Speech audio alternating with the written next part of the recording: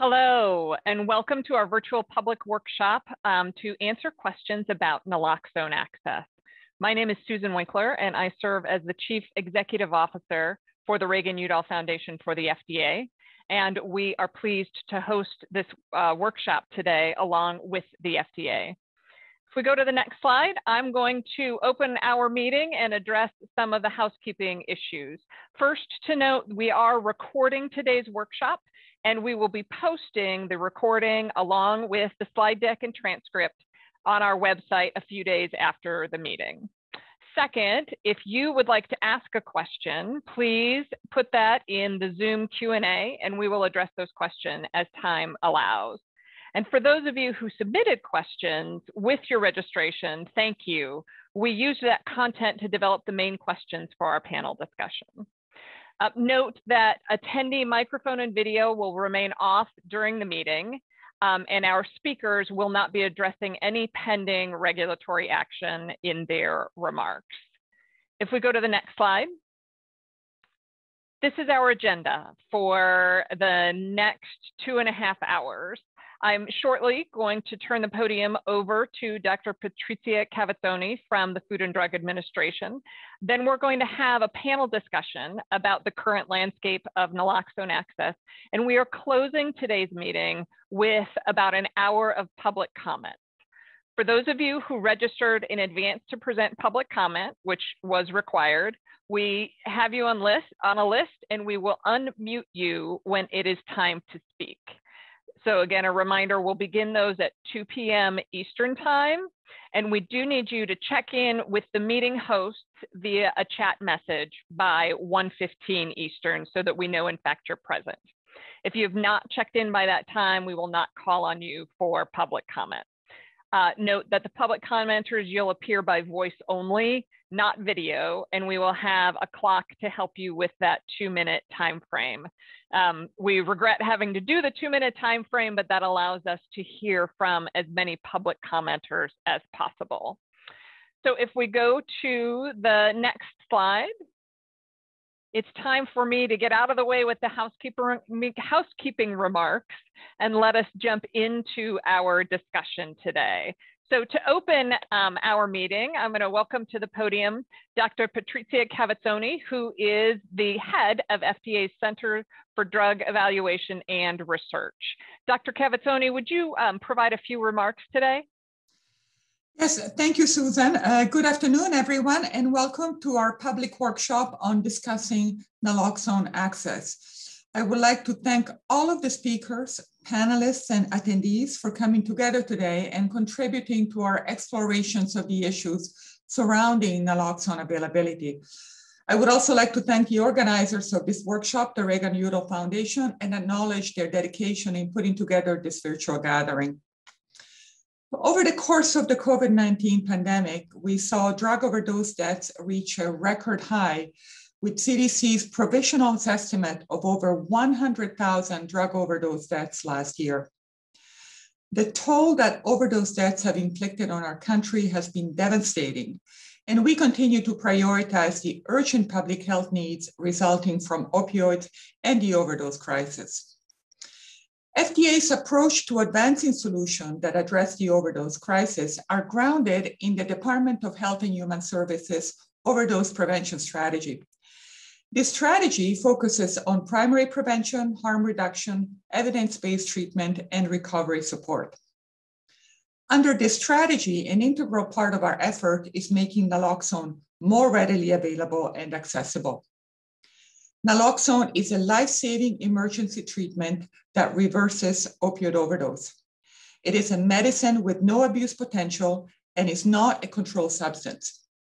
It can also be administered by individuals with or without medical training to help reduce opioid overdose deaths. Now, with this in mind, we understand the importance of having all forms of naloxone available for community use. This includes injectable naloxone, which is the least expensive options. We know that it is, especially important for first responders and uh, harm reduction groups to have access to this low cost product as part of their community based distribution programs. The FDA acknowledges the critical work of harm reduction groups to make naloxone available in their communities, and the agency does not intend to interfere with these efforts. While countless dedicated organizations at the federal, state, and local levels have committed themselves to make naloxone more readily available, we understand that some barriers to access still exist. In response, FDA has taken a number of steps over the last several years to support increased availability of naloxone products. This includes our efforts to encourage drug companies to enter the non-prescription market by developing a model drug facts label for over-the-counter or OTC naloxone, one of the critical requirements for an OTC product. This was the first time the FDA proactively developed and tested a drug facts label to support development of an over-the-counter product. With it, FDA intended to ease the burden for industry and facilitate a timely switch from prescription to over-the-counter naloxone. However, despite our efforts, naloxone is still a prescription-only drug. We are aware of re the recent calls for broadening naloxone access by switching naloxone to over the counter. And over the years, we have explored all options available under our authorities and acknowledge that the transition to OTC remains challenging. Specifically, FDA has heard the calls for improving the availability of all forms of naloxone, this includes the intramuscular formulation, for example, the vial and syringe injectable naloxone, which is a product that poses particular challenges for over-the-counter development. In FDA statute, non-prescription dr uh, drugs are defined as drugs that are safe and effective for use by the general public without the supervision of a healthcare professional. This includes individuals who have never injected drugs and must demonstrate the ability to administer medication with minimal instructions. As such, other naloxone formulations, such as intranasal and autoinjector for formulations, might be better suited for over-the-counter transition. But even for these products, we still need, need data to support safe and effective over-the-counter use. It has also been brought to our attention that the transition from prescription to over the counter status may generally result in a loss of reimbursement through health insurance, and that pricing of an OTC product may create new unintended barriers to access. This is an issue that we're actively examining with our federal partners, and we also invite, invite private payers to consider this important issue of naloxone coverage. Now, despite these challenges, we're forging ahead. Using all available evidence and tools at our disposal, we're committed to increasing options for opioid overdose reversal and improving access. As part of this, the agency plans to continue working to advise industry, encourage the development of over-the-counter naloxone, and bringing new products to market. We're also supporting development of novel opioid overdose reversal products and engaging stakeholders across, the healthcare continuum to explore effective solutions that increase naloxone availability. During this pivotal time in our country, we realize that it's essential to, uh, to advance the, the conversation on naloxone access. Through this workshop, the Reagan-Udall Foundation has brought together a range of stakeholders, including harm reduction specialists, physicians, pharmacists, and regulators, to develop meaningful insights on the current landscape of naloxone access. Thank you again for joining, and I look forward to today's thoughtful discussion. I will now turn it back over to Susan Winkler. Great. Thank you so much, uh, Dr. Cavazzoni. And uh, it's um, uh, always important to hear from the head of FDA Center for Drug Evaluation and Research, where uh, naloxone is regulated, to, to open the meeting. To thank you. Your appearance underscores uh, FDA and CDER's commitment to this topic. So as Dr. Cavazzoni mentioned, um, drug overdose persists as a major public health issue in the United States. And we have heard a number of questions about access to naloxone, a drug that can literally save someone's life when experiencing an opioid overdose. And so we are gathered today um, to host this workshop, workshop to bring you as many answers as we can. So if we go to the next slide, as Dr. Cavazzoni mentioned, naloxone is an FDA approved medication that rapidly reverses the effects of opioid overdose. It's an opioid antagonist, so it binds to the opioid receptors and reverse or blocks their effect. Um, and it's a standard treatment uh, and incredibly helpful in this crisis situation. So that's just some basics there. And as um, Dr. Cavazzoni mentioned, it's uh, known by several branded names, and naloxone can be administered in a variety of ways, including a nasal spray, so up the nose, an auto injector, or extracting a dose from a vial and administering with it with a needle and syringe. So when we talk about naloxone, we're talking about all of those different ways that it might be administered um, and as well as any of the brand names that might be used to refer to it. Um, but we're all talking about that specific um, medication, which is naloxone. So if we go to the next slide, um, as I noted, we are going to walk through a whole host of questions with our expert panelists. But in addition to that discussion, there are a number of resources available from um, other agencies within the Department of Health and Human Services, including CDC and SAMHSA, and additional material on FDA's website. So links to those websites are being provided in the chat now, but wanted to make sure you knew there's information that will be shared here, and then there are a number of other resources about naloxone and uh, expanding access from other agencies as well. So let's go to the next slide and let's jump into our panel discussion.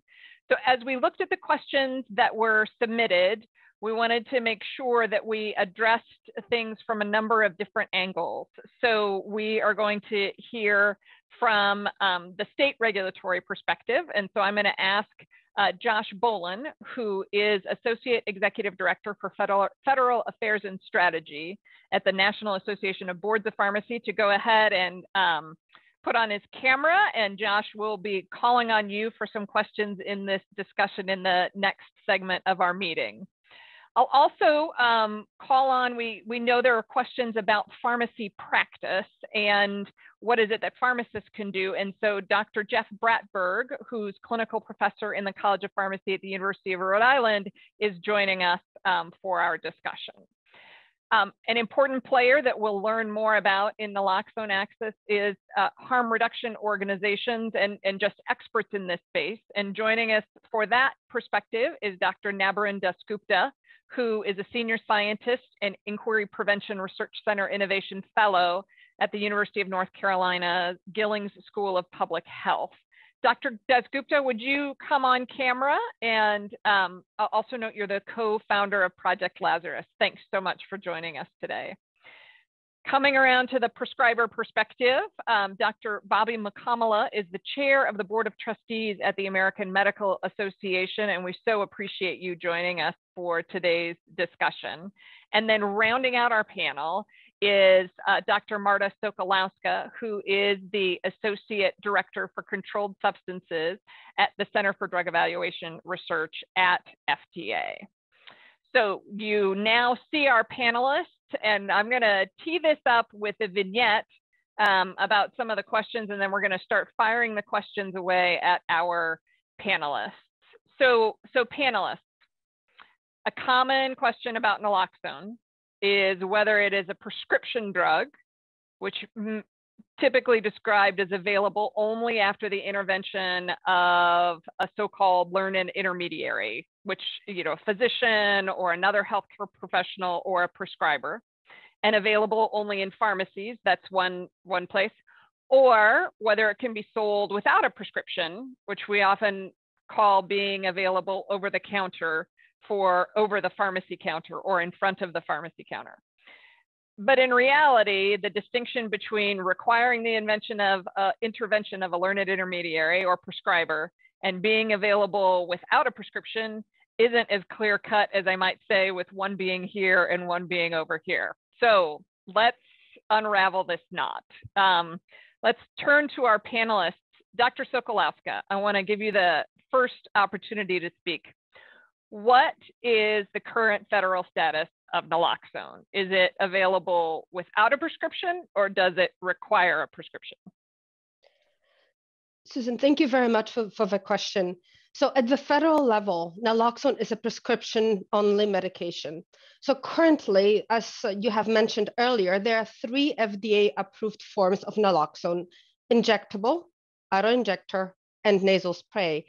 And all three currently require prescription, which can be a barrier for people who are not under the care of a healthcare provider or who are concerned about the stigma of substance use or substance use disorder in general. However, in response to the crisis, all 50 states and the District of Columbia have some form of naloxone access law, and most states, uh, as well as District of Columbia, have standing orders which allow pharmacists to dispense naloxone and take the place of an individual prescription. Some states have um, also have given pharmacists direct authority to prescribe and sell naloxone to consumers. Still, uh, many pharmacists may be unaware of standing orders and direct authority in these states or unwilling to provide all forms of naloxone to consumers without an individual prescription.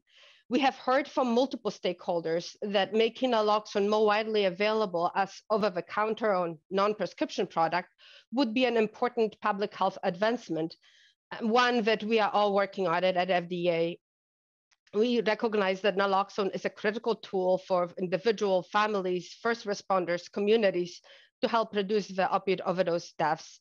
And we recognize the need of for naloxone that that we recognize that access to naloxone still continues to be limited in some communities. Thanks so much. And and so yes, federal perspective, well, federal requirement it does require a prescription, but there are some broader access pieces. What, which then tees up the question, does FDA have the authority to move a product from a prescription only status to over the counter status? So yes, FDA does have the authority to change a product from prescription only to OTC over the counter. The process of changing the status of a drug from prescription to non-prescription is sometimes called the prescription to OTC switch. It is usually uh, initiated by the manufacturer of a prescription drug. And for a drug to switch to non-prescription status, the data provided must demonstrate that the drug is safe and effective for use in self-medication as directed in proposed labeling the manufacturers must show that consumer in general population can understand how to use the product safely and effectively without the supervision of healthcare professional. FDA may then approve a switch of a pre prescription product to non-prescription status when it is determined that the requirements for prescription use are not necessary for the protection of public health. So what does that mean for naloxone? For a number of years, FDA has in, encouraged drug companies to enter the OTC market. In January of 2019, the FDA designed, tested, and validated one of the key labeling requirements necessary to approve the OTC version of naloxone, the drug facts labeling, or DFL. To do this, uh, a model facts labels was developed with pictogram instructions to instruct users how to administer the drug safely and effectively. Testing of a written label confirmed that it could be read and understood by the general public. Um, this was the first time the FDA proactively developed and tested DFL to support development of an OTC product. However, now in addition to the DFLs that we have published, manufacturers need to conduct product-specific testing of device instructions. These instructions need to be easy to implement and understand for the general public. Drafting such instructions might be challenging for intramuscular naloxone formulations, for example, vial and syringe formulation. for those who do not have experience with injecting products. This may be more straightforward um, for relatively user-friendly formulations, such as nasal spray or auto-injector. As we are considering the prescription to OTC switch, we are looking more broadly on the implications of such a switch, and we anticipate that the prescription to OTC transition could impact reimbursement for naloxone, as it may generally result in loss of reimbursement through healthcare insurance pricing of OTC version. Um, it, and it may create additional barriers that their ongoing efforts to determine the reimbursement implications uh, of a changing status. Um, so it would not produce additional barriers uh, for patients to, to get um, naloxone. Uh, and we also invite a lot of stakeholders, both federal as well as private payers, um, to provide their insight on this important issue um, of naloxone coverage. So in summary, with a template for one of the key components for OTC availability, the drug facts label now in place, drug companies can use this information as part of the application to obtain OTC naloxone. And we are continuing to work with industry partners to uh, who are invested, interested in development of OTC products to further this development and get it available for patients as soon as possible. Great. So, Dr. Sokolowska, if I can paraphrase, um, yes, FDA could move us from prescription only to over the counter status, but there's also uh, a participation of the manufacturer in helping with some of that. Um, what's needed to confirm that a consumer could use the product to, to show that uh, consumers um, could safely use the product. Is that a fair paraphrase? That is correct. We need to make sure that the general public people will be able to read those instructions and administer the product mm-hmm. safely and effectively. Yeah. And so FDA has done some work that we wouldn't usually see in saying, here's what the label might look like generally. But because there are the different dosage forms, that's some of the work that we still need to see done and, and kind of show that um, that's that's another step to get that cro- the, across the finish line, or as I keep uh, making my hand motions to move from one side of my screen to the other side of my screen. Yes, there are multiple presentations of naloxone products. And for each of these presentations, we need to make sure that the instructions are appropriate. So again, general public can administer it. Right, because it's very different if you're kind of using something intranasally or an auto injector, you know, and then the other piece. So there's there's some work to be done there, but um, there's some work being done. So that that that answers the question at a federal level. That yes, you know, from a federal perspective, um, naloxone is a medication that still requires a prescription. Um, so let's talk. Let's shift from federal perspective to state perspective. So, Director Bolin, I'm going to turn to you now. Um, can a state make a prescription-only product available over the counter? So states do not have the same drug approval authorities as the FDA. So, you know, broadly speaking, once the FDA has made a product as being prescription only, the states don't have that authority to move it to an over-the-counter status. Um, you know, what has happened in, in some states level at, at the state level in some instances is that some of them can move, for example, a controlled substance to a to a higher schedule. There's some differences from state to state um, along some of those. Um, and then you have some states, for example, that move like pseudoephedrine to a prescription only product. So sometimes you can become more strict, uh, but not less. Uh, so I, I, think that's just sort of broadly speaking, that's that's where the states come down. So the federal law is a floor and the states can make something more restrictive, but they can't bo- go below that floor. That that's that that is that is correct, and I, I think uh, states by and large. I, I, don't think that many become more strict. Um, you know, I think it's just in certain instances, you know, if there are uh, certain controlled substances that they might want included in a prescription drug monitoring program or something like that, they can um, identify those or, or flag those separately. Okay. So states are working with the prescription only requirement at the federal level.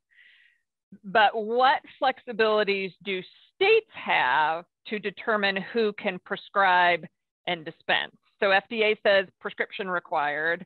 what can states do? And I, I think we've heard mention that states are doing some some novel things here with with naloxone. What what can states do with that prescription requirement? Sure. So, um, you know, you have a, a, large number of states that have issued some sort of statewide, um, you know, statewide standing order where they've just indicated that, you know, any uh, any prescriber or dispenser can dispense without uh, without a prescription. Um, there's obviously some variability within that. Uh, then you have other states, um, you know, that have taken steps to actually uh, provide the pharmacist with the ability to prescribe medications, and that's something um, that's that's evolved over the last you know several years. So some have allowed pharmacists to prescribe certain medications or adjust drug therapy, administer vaccines, lab tests, things like that. Um, you know, and, and some of that comes within a standing order or collaborative practice agreement. Uh, but then we're starting to see more of a trend more towards of a, a statewide protocol or limited prescribing sections of law being put into place uh, so that pharmacists can prescribe, you know, birth control, smoking cessation, and then obviously naloxone is is one that we've seen um, increase over the last several years. Great, thanks, thanks, Josh. That helps us with the kind of what can happen at the state level. So federal floor, prescription required. State um, has some flexibility in in who may prescribe and who may um, as well. Okay. So I know some of those standing orders require a physician or another prescriber to to engage. So Dr. Mukkamala, I'm going to be coming to you. So so what are some best practices as physicians think about whether or not to sign standing orders or other protocols to expand naloxone access? Because we've said there's still requires a prescription, but there's some flexibility on who can prescribe. And now part of that is a, is a standing order. Talk to us about the physician perspective here.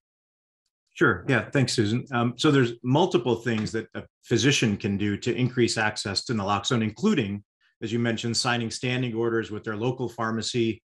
But in addition to that, doing that with harm reduction organizations as well. So not just the pharmacy as the source, so when we talk about best practices for naloxone, it means doing everything we can to ensure that people at risk of overdose and frankly their families and friends um, that they have naloxone. And that's the ideal because when that happens we won't be reading about another year with 100000 plus deaths. So so standing orders are simply one strategy but an important one to increase that access. And so the AMA has strongly supported state legislation to authorize these standing orders that enable pharmacists to dispense naloxone um, to an individual without a patient specific prescription.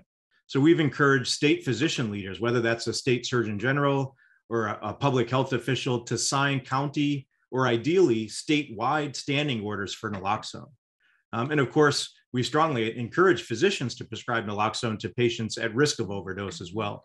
So part of our sort of all of the above approach um, also includes changing state laws to allow for wider distribution of naloxone to beyond the pharmacy and also urging naloxone manufacturers to finally submit their over-the-counter applications, which as we've heard is a necessary step.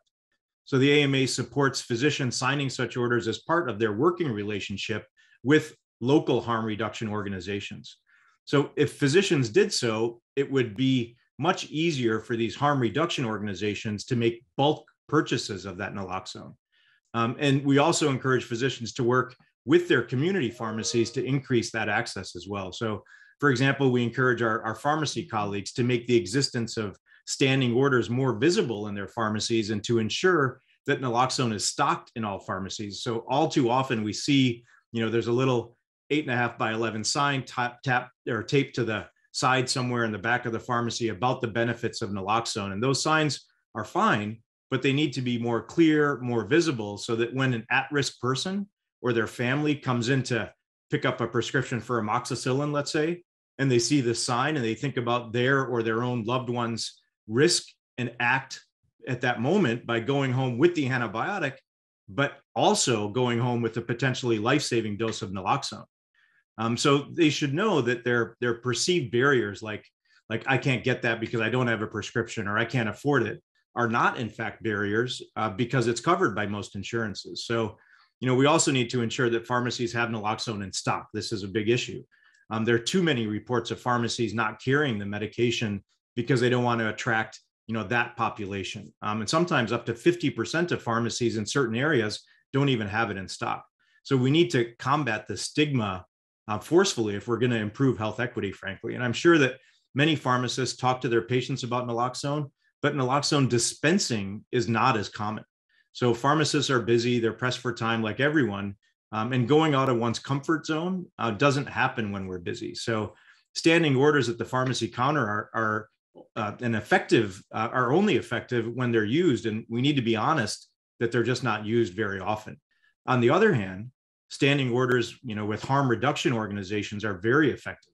The purpose of naloxone is the exact purpose of these organizations, and that's to save lives. So we're gratified that data show that millions of doses of naloxone are purchased and distributed by harm reduction organizations. But the takeaway here is that the AMA really encourages much greater awareness and use of standing orders for naloxone, both in the pharmacy setting and in harm reduction organizations really helpful. And so if I may paraphrase there as well, um, kind of underscoring the AMA support for physicians to say, yes, you know, sign these standing orders and make it available, partnering with pharmacy and with harm reduction organizations. But that that's a uh, a way. And then in addition, you know, encouraging physicians to talk to their patients about why you would want to have naloxone available because it it you know if, if i understand correctly you would even want naloxone available when prescribing opioids because you know problems can occur like it, or or just situations can emerge where one would need naloxone as a, a prescription opioid user is that right yeah, yep, for sure that. But I mean, as we've seen, the trend though is it's much more than prescription opioids now. Correct. Uh, but but absolutely, as long as we're limited and it has to come through a conversation with the physician, then yes, we need to have more of those conversations. But the overall goal is to sort of get rid of that step that, as we've already heard today, um, the wheels are in motion to do that, to just minimize the number of hurdles between a patient that's at risk and the naloxone that they need. Wonderful. So you raised the importance of the pharmacist piece because it, you know we are uh, it's we've got the floor requirement of a prescription and then dispensing largely from a pharmacy or a harm reduction organization. And I'm going to get to you, Dr. Dasgupta, as well. But let's turn first. Dr. Bratberg, tell us a little bit about pharmacist involvement in expanding naloxone access. Yeah, thank you. Uh, I think it's important to start from the beginning, and I appreciate the uh, you know uh, the the comments about the involvement of pharmacists and standing orders. I was uh, part of a group with the first statewide collaborative practice agreement for naloxone in, in Rhode Island, one of the top states, unfortunately, for per capita opioid overdose deaths. Um, and I think it's important for people listening to realize that this is a step outside pharmacist comfort zone, right? Pharmacists are used to receiving a prescription in the name of a person and dispensing it. So again, it's important to realize that through advocacy and collaboration with public health experts and physicians, um, you know, thousands and thousands and thousands of pharmacies, of uh, pharmacists and pharmacy students have been trained in overdose response and naloxone access to, as we've heard, prescribe uh, independently or to work with standing orders or protocols. But realize this is still unusual. It's very hard, right? We went from you know punitive restrictions of on, on opioids that have had a pendulum effect in restricting opioids to well, here's naloxone. Let's co-dispense this. Let's co-prescribe this, right? We've moved from assuring that the med is correct with the person's name on it to third-party prescribing, to caregivers, to families, where we say, here's naloxone, you need to use this on someone else. I need to train you, or you need to train your family members to use it for you. These are unusual, hard things, not just for pharmacists, but really for all prescribers or healthcare workers. Who it's not unusual for are the people who are at the greatest risk, which are the people who use drugs, who are using um, uh, an unsafe supply, uh, contaminated most greatly with, with fentanyl. What's not hard is understanding that OTC naloxone is needed now. You know, you know, it, almost 2 million people have seen a YouTube clip in the last two days from John Oliver on last week tonight, basically asking the FDA to remove naloxone's prescription only status and do it right now. And this follows up a year ago when the American Pharmacists Association passed policy to not only increase the availability of naloxone, supporting it as both a prescription and non prescription medication. And we applaud the AMA for citing our policy and to ensure equitable access and affordability of at least one formulation, regardless of prescription status, and to provide fair reimbursement to dispensers of naloxone. Because not only are these conversations difficult, they take a long time and they're unreimbursed. We're the one of the only practitioners who give away our cognitive knowledge. Let me tell you, I just went to a doctor's visit with my son this morning, and I'm going to get a bill for it for advice. And that is not something that pharmacists are getting. And if we want greater access, reimbursement appropriately for our services is desperately needed in both in this public health problem of overdose, but also other public health problems.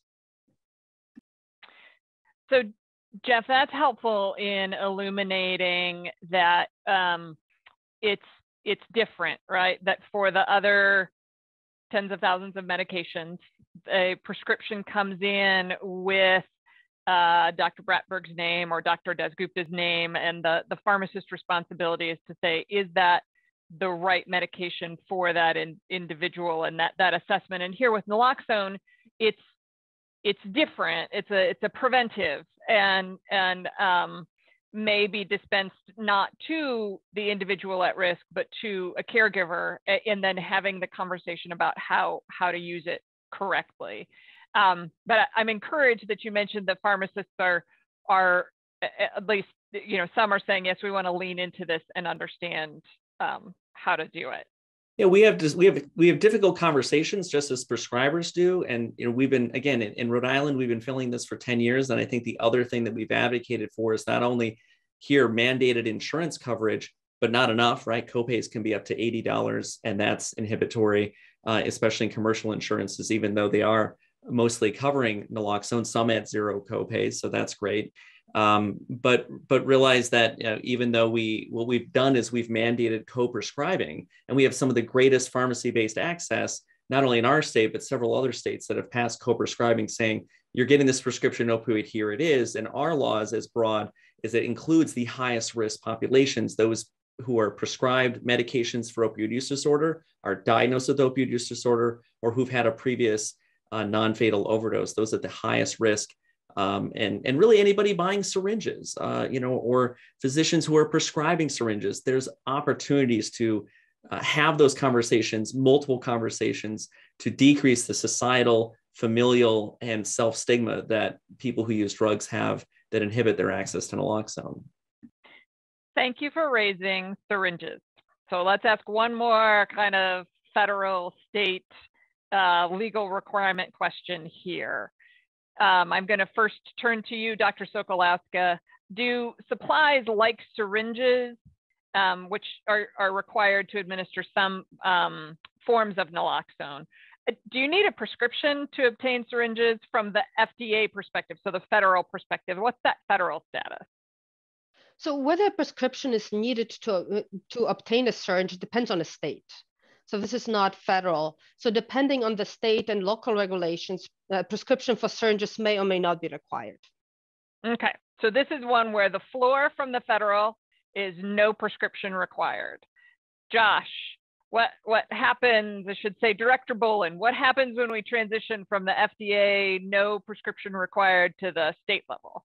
You could have different floors in different states. Um, and and so I think, you know, historically, many states have previously classified syringes as being drug paraphernalia. So, depending on how that state classification started, and there's been a lot of evolution over the course of, of the past decade or so. Um, you know, many steps, many states have taken uh, steps to actually provide, um, you know, provide exceptions because of the opioid epidemic and trying to, you know, increase access uh, many states do allow for uh, syringes to be sold over the counter as long as certain criteria are met. Uh, so, for example, if you're selling to someone who's over the age of 18, or if it's being dispensed in limited quantities, uh, you know, for example, like less than 10 syringes, those are some instances where, um, you know, where states have sort of walked back some of those regulations. Um, there are many states that actually allow pharmacists to use their professional judgment to dispense the appropriate needle or syringe to accompany a prescription for an injectable drug. So again, there, there certainly is uh, some differences state to state. Uh, but that's why discussions like this, I think, are so important because it gives us an opportunity to understand, you know, what's good model policy, uh, what's what's something that you know we can you know work on uh, collaboratively, and then try to you know get, get some more uniformity from a state level perspective. Uh, that's really helpful and kind of helping on the the uh, different levels of of floor there. I'm going to turn us to a different vignette unless uh, Dr. Dasgupta, I saw you unmute. You want to jump in? Okay. Uh, it's because I'm coming to the new a, a, new vignette. So we have we have clarity that naloxone does today require the intervention of a learned intermediary from the federal perspective, but how that learned intermediary role is played is up to the states. And so that's where we get the standing order and some of the other kind of broad prescribing ability, uh, authorizing pharmacists to prescribe, um, authorizing administration in, in harm reduction organizations. Um, so let's turn to a second area. This is our vignette number two. So because naloxone is in this kind of middle ground where we have broad parameters for who may be that learned intermediary or prescriber and who may be the dispenser, that um, we've heard creates some challenges regarding purchasing naloxone and other items necessary to use the product. So, so let's go there. And we're going to turn now to the harm reduction organizations. Um, as Dr. Mukkamala said, um, Dr. Dasgupta, you know, harm reduction organizations exist solely to to help um, in in this space, and naloxone is one of their important components. Why don't we um, return to our panel discussion? I want to turn to you. I I've heard that in some cases, pharmaceutical companies require signed agreements with harm reduction companies to then distribute naloxone. Tell us more about that. Sure, thank you. So I have deep respect for the integrity of the pharmaceutical supply chain and FDA's role in securing it. So thank you first to the public officials who convene this meeting and who protect our health. So safe medications are a vital and underappreciated part of public health. With naloxone, however, the very rules that typically safeguard consumers are having the opposite effect and harm reduction programs know better than most the dangers of an unregulated drug supply. It is unregulated drugs, street drugs, that are killing people. We are fighting unregulated drugs with an overregulated antidote. No wonder we're not making more progress. There's an immense overlooked burden on harm reduction programs to actually procure naloxone. You have the privilege today of hearing specifics from our upcoming speakers, but I'll summarize their experience. Literally every day, I hear another heartbreaking tale of inefficiency and hassle of administrative waste.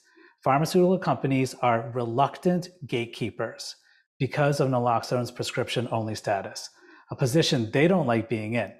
However, the threat of federal action makes them overly risk averse. On a practical basis, it looks like this. Pharmaceutical manufacturers and distributors require a medical or pharmacy license to ship naloxone to a program. They also require typically that the program ordering the naloxone provide a DEA license number, even though naloxone is not a controlled substance. I'll touch on that in a moment. If a program has multiple sites, the distributor often requires a separate physician license for each ship to address. They will only ship to commercial addresses, even for a single box of naloxone for a small program, which is infuriating during a pandemic and makes especially no sense for mobile programs serving remote and rural areas. Last year, during the affordable naloxone shortage, a manufacturer wanted to make a donation to harm reduction programs. They required not only a DEA number and a medical license, but also a signed affidavit from each doctor because the ship to address of the harm reduction programs didn't match the doctor's clinic address, right? In a broader sense, these things make, you know, have a place in the supply chain. For naloxone, these are things that are killing people. Another organization routinely donates naloxone and additionally requires a clinic profile from the harm reduction programs, which doesn't fit any of the harm reduction programs and results in denied requests. This happens like all the time. So even when cost is not a factor, these arcane workarounds have to be put into place to get naloxone actually into the hands of people who can do the most good. But aren't the state standing orders supposed to circumvent some of this, like we were hearing? When we present those standing orders to naloxone manufacturers, they point out that the standing orders only cover community distribution, not purchasing. This is infuriating. In Pennsylvania, where the state provides naloxone nasal spray to programs, you'll hear from Alice Bell, who has to have a half-time employee to just deal with the paperwork of obtaining naloxone. 20 hours per week for one program just to procure naloxone from a state that's already paying for a lot of the product. So ask yourself, like, who does the prescription requirement for naloxone serve?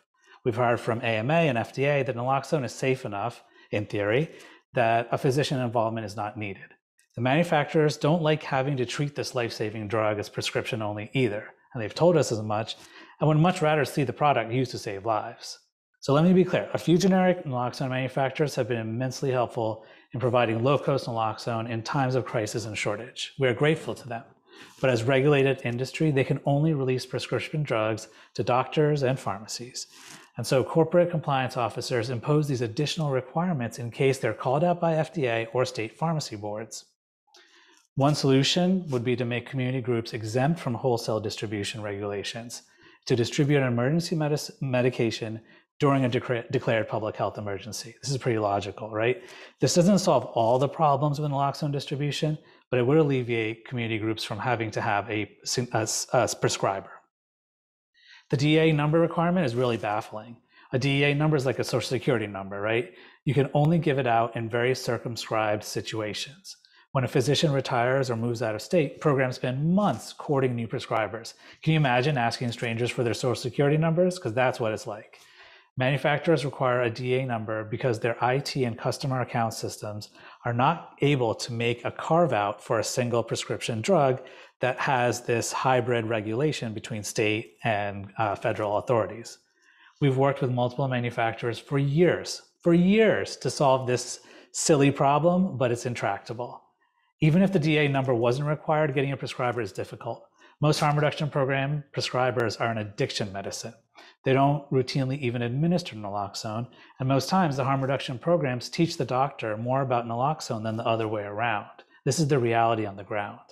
So even if a DEA number was not required, having to beg a prescriber means that smaller groups with access to hard to reach populations, those at the greatest risk of overdose are the ones that get systematically excluded.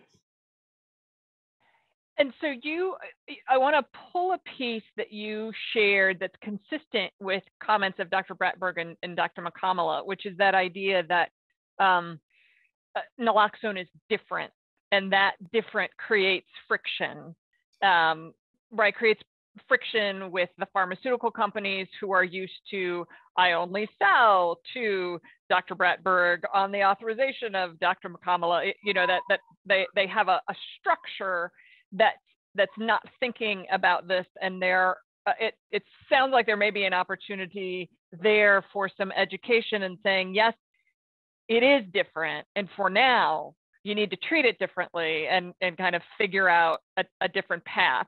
I, I do want to get an authoritative answer. Um, Dr. Sokolowska, I'm going to turn to you as the authority. Would you answer this question? Do you need to have a DEA number or be a DEA registrant to prescribe naloxone? I'm pretty sure I know the answer to that question, and our panelists know the answer to that question. But would you answer that question for us? Do you need a DEA number to prescribe or order naloxone? Well, to clarify, DEA would be the best to answer this question. However, correct, but you're here with us today. I'm, I'm happy to provide the input that I can. In our understanding, under the Controlled Substances Act, any person who manufactures, distributes, dispenses, imports, exports, or conducts research or chemical analysis with controlled substances must register with DEA unless they are exempt. However, naloxone is not a controlled substance. It is not scheduled as it has no abuse liability. Therefore, it should not be covered under this requirement. Prescribers should handle naloxone as if it were any other non-controlled medication, such as antibiotics, and you do not need DEA number for prescribing of antibiotics. Any decisions made by individuals, organizations, or companies requiring a DEA number is likely not based on federal requirements. Although a DEA number is not mandatory for, mandatory, for medical pro uh, providers who do not plan to prescribe controlled substances, it is common for healthcare practitioners to be DEA reg registrants. So, no. No. Because it's not a controlled substance. Okay, I will will um, capture that on a kind of what you should know. Um, that's a that's a requirement that's kind of inconsistent. So I want to ask a, a follow up question that relates a bit to this kind of um, controlled substances, things being different, a number of other pieces. I want to come to you, Dr. Mukkamala. Um, can physicians prescribe naloxone without any special certification, or or do you do you need, there are some treatments in this space where you need a special certification. Where does naloxone fit in the physician prescribing authority and training? Yep. So um, you're absolutely right. There are some things that uh, relate to substance use disorder that require special training. Naloxone is not one of them, right? So, so I can just as easily write naloxone as I can write amoxicillin, right? Buprenorphine, different category, right? That requires training. There's there, it's an opioid um, and so a whole different category, but naloxone is not in that category. It's more like amoxicillin than it is like buprenorphine. Great. So no special training required. Um, so it's just kind of straightforward within their typical medical practice training and authority. Yep, you uh, got it. Great. Um, I want to, I'm going to toss a question to Dr. Bratberg, and then I want to come back to you, Dr. Dasgupta on on you know some of the mechanics with wholesalers. But Dr. Bratberg, let me let me turn to you. Um, we've heard and you acknowledge that naloxone access is is somewhat disparate across the country. Um, what contributes to kind of that disparate distribution and access? Yeah, it's I'm as concerned as everyone here and all of our listeners that, you know, here we have an essential medication that people have literally run into pharmacies thinking it's going to be there and it's not there and people have died. That is a true anecdote I've heard here in Rhode Island and countless other places. In fact, we've even written about pharmacy overdose response programs because there's a trained first responder. Of course, we're all first responders when it comes to overdose. Every overdose death is a preventable death as long as naloxone's available. So it's important that uh, it's so you know some pharmacies are responding to overdoses in their bathrooms, in their stores, in their parking lots, and that happens every single day but the naloxone needs to be there, right? And so we have to say, well, why, you know, why is it that some pharmacies wouldn't stock it? Well, stigma's obviously a huge issue, but I think there's also demand. You know, there's a correlation in some of the studies, and I think my colleagues would agree with me. Of we, uh, Dr. Mukkamala mentioned buprenorphine. So some pharmacies don't stock buprenorphine, which is a medication, highly effective medication, first line therapy to treat opioid use disorder. So there are pharmacies that don't stock that essential medication. They also don't often don't stock naloxone. And I think that that just shows, you know, that 80% of people with OUD aren't getting access to their medications and therefore there's no demand. And we all know when we go buy things, if there's no demand for something, we're not going to have it on the shelf. The difference with pharmacies, they lose money putting that on the shelf. So we talked about lack of reimbursement. There's a great federal uh, uh, law that we sh- or a bill that we should pass to make pharmacists providers in underserved areas. So it's important we look that up.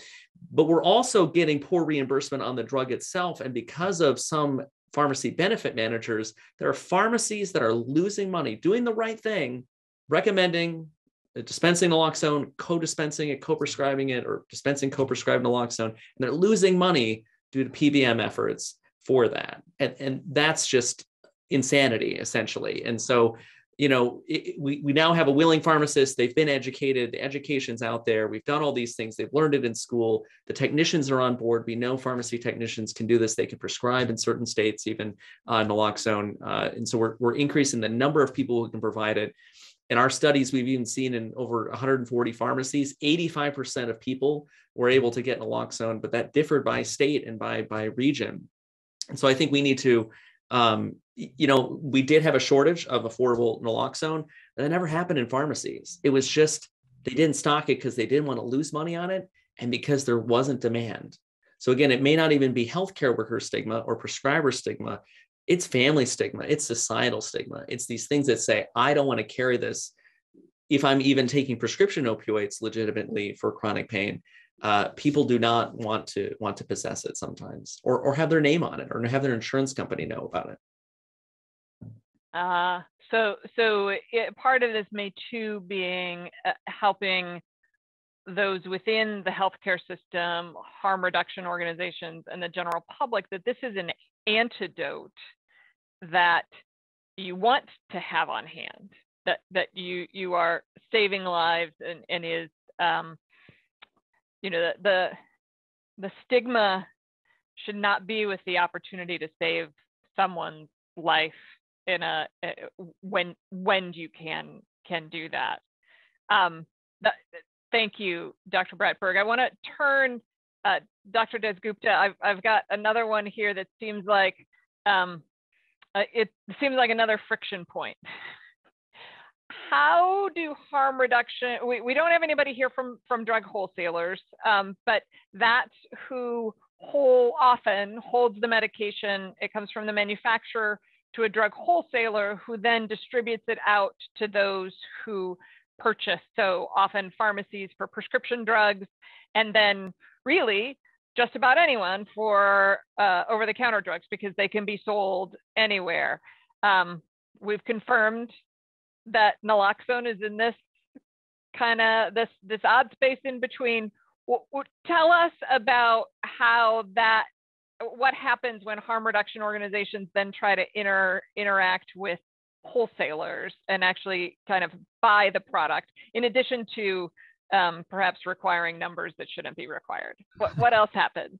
That's a really good question and this is like one of those things that is so in the weeds that you don't really think about it when you're thinking about big policy, but it makes all the difference on the ground, right? So harm reduction programs have accounts with major pharmaceutical distributors and regu- regularly buy OTC supplies like sterile water, syringes, antibiotic ointment.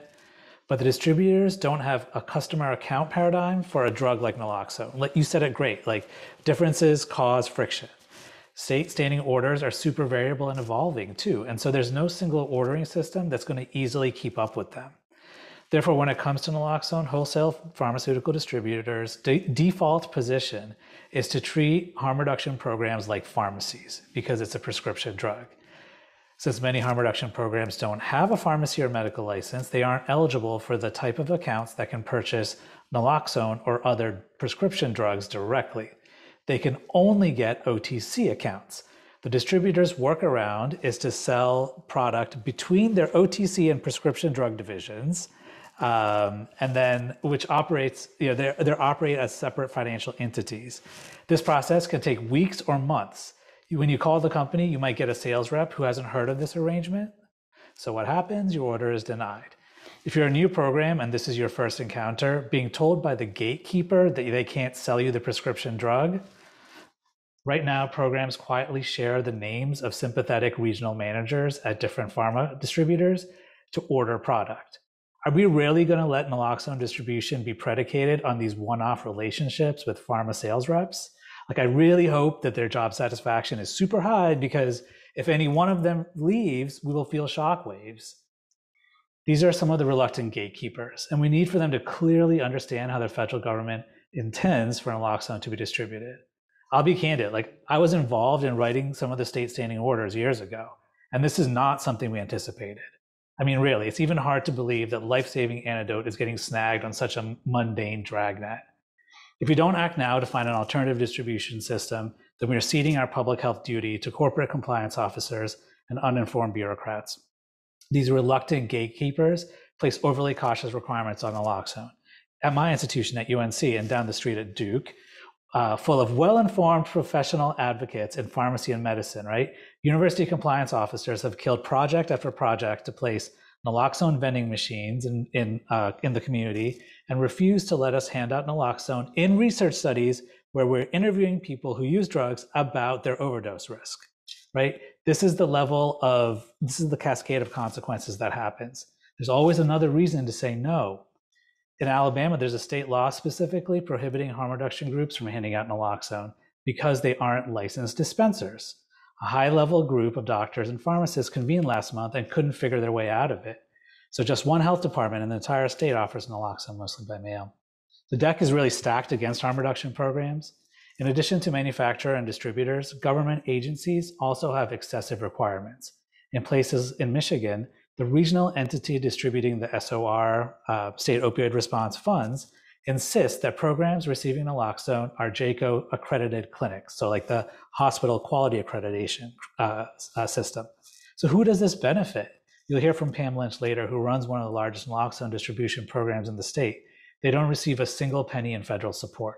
In fact, half of the programs in the Naloxone Buyers Club don't receive any federal support for naloxone, largely because the paperwork burden from state health departments is too high or because existing relationships include harm reduction programs.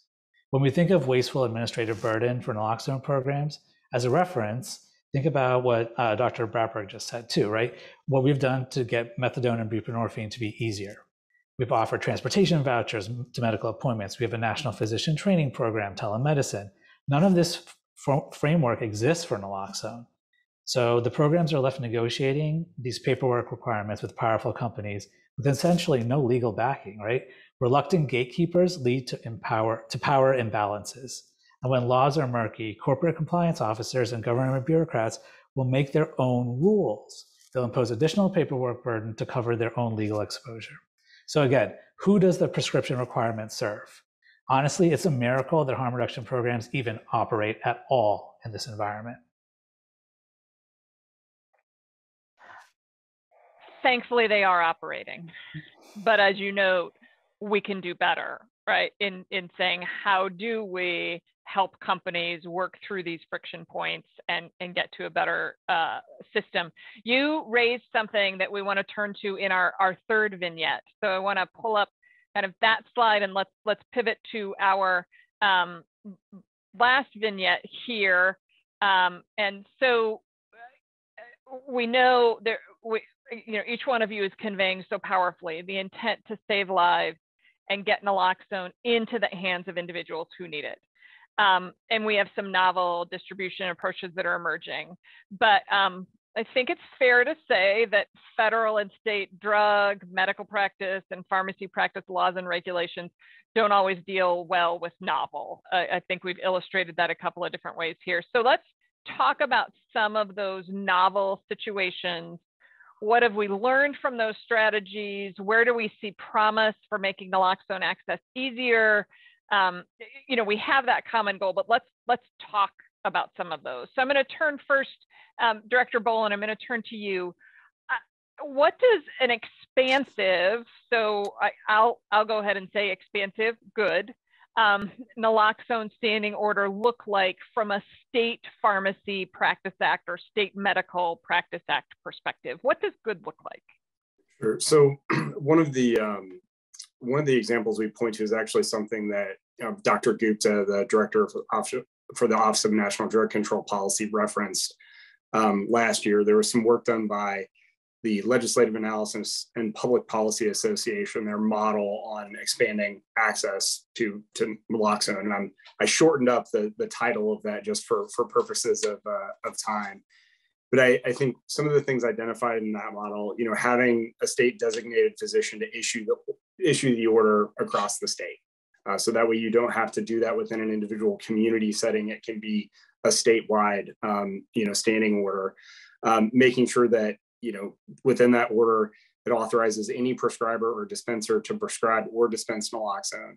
And it also allows for the possession, storage, distribution, and administration by any individual or entity within a state. So again, those are that's general. It provides um, you know provides some of that uh, flexibility.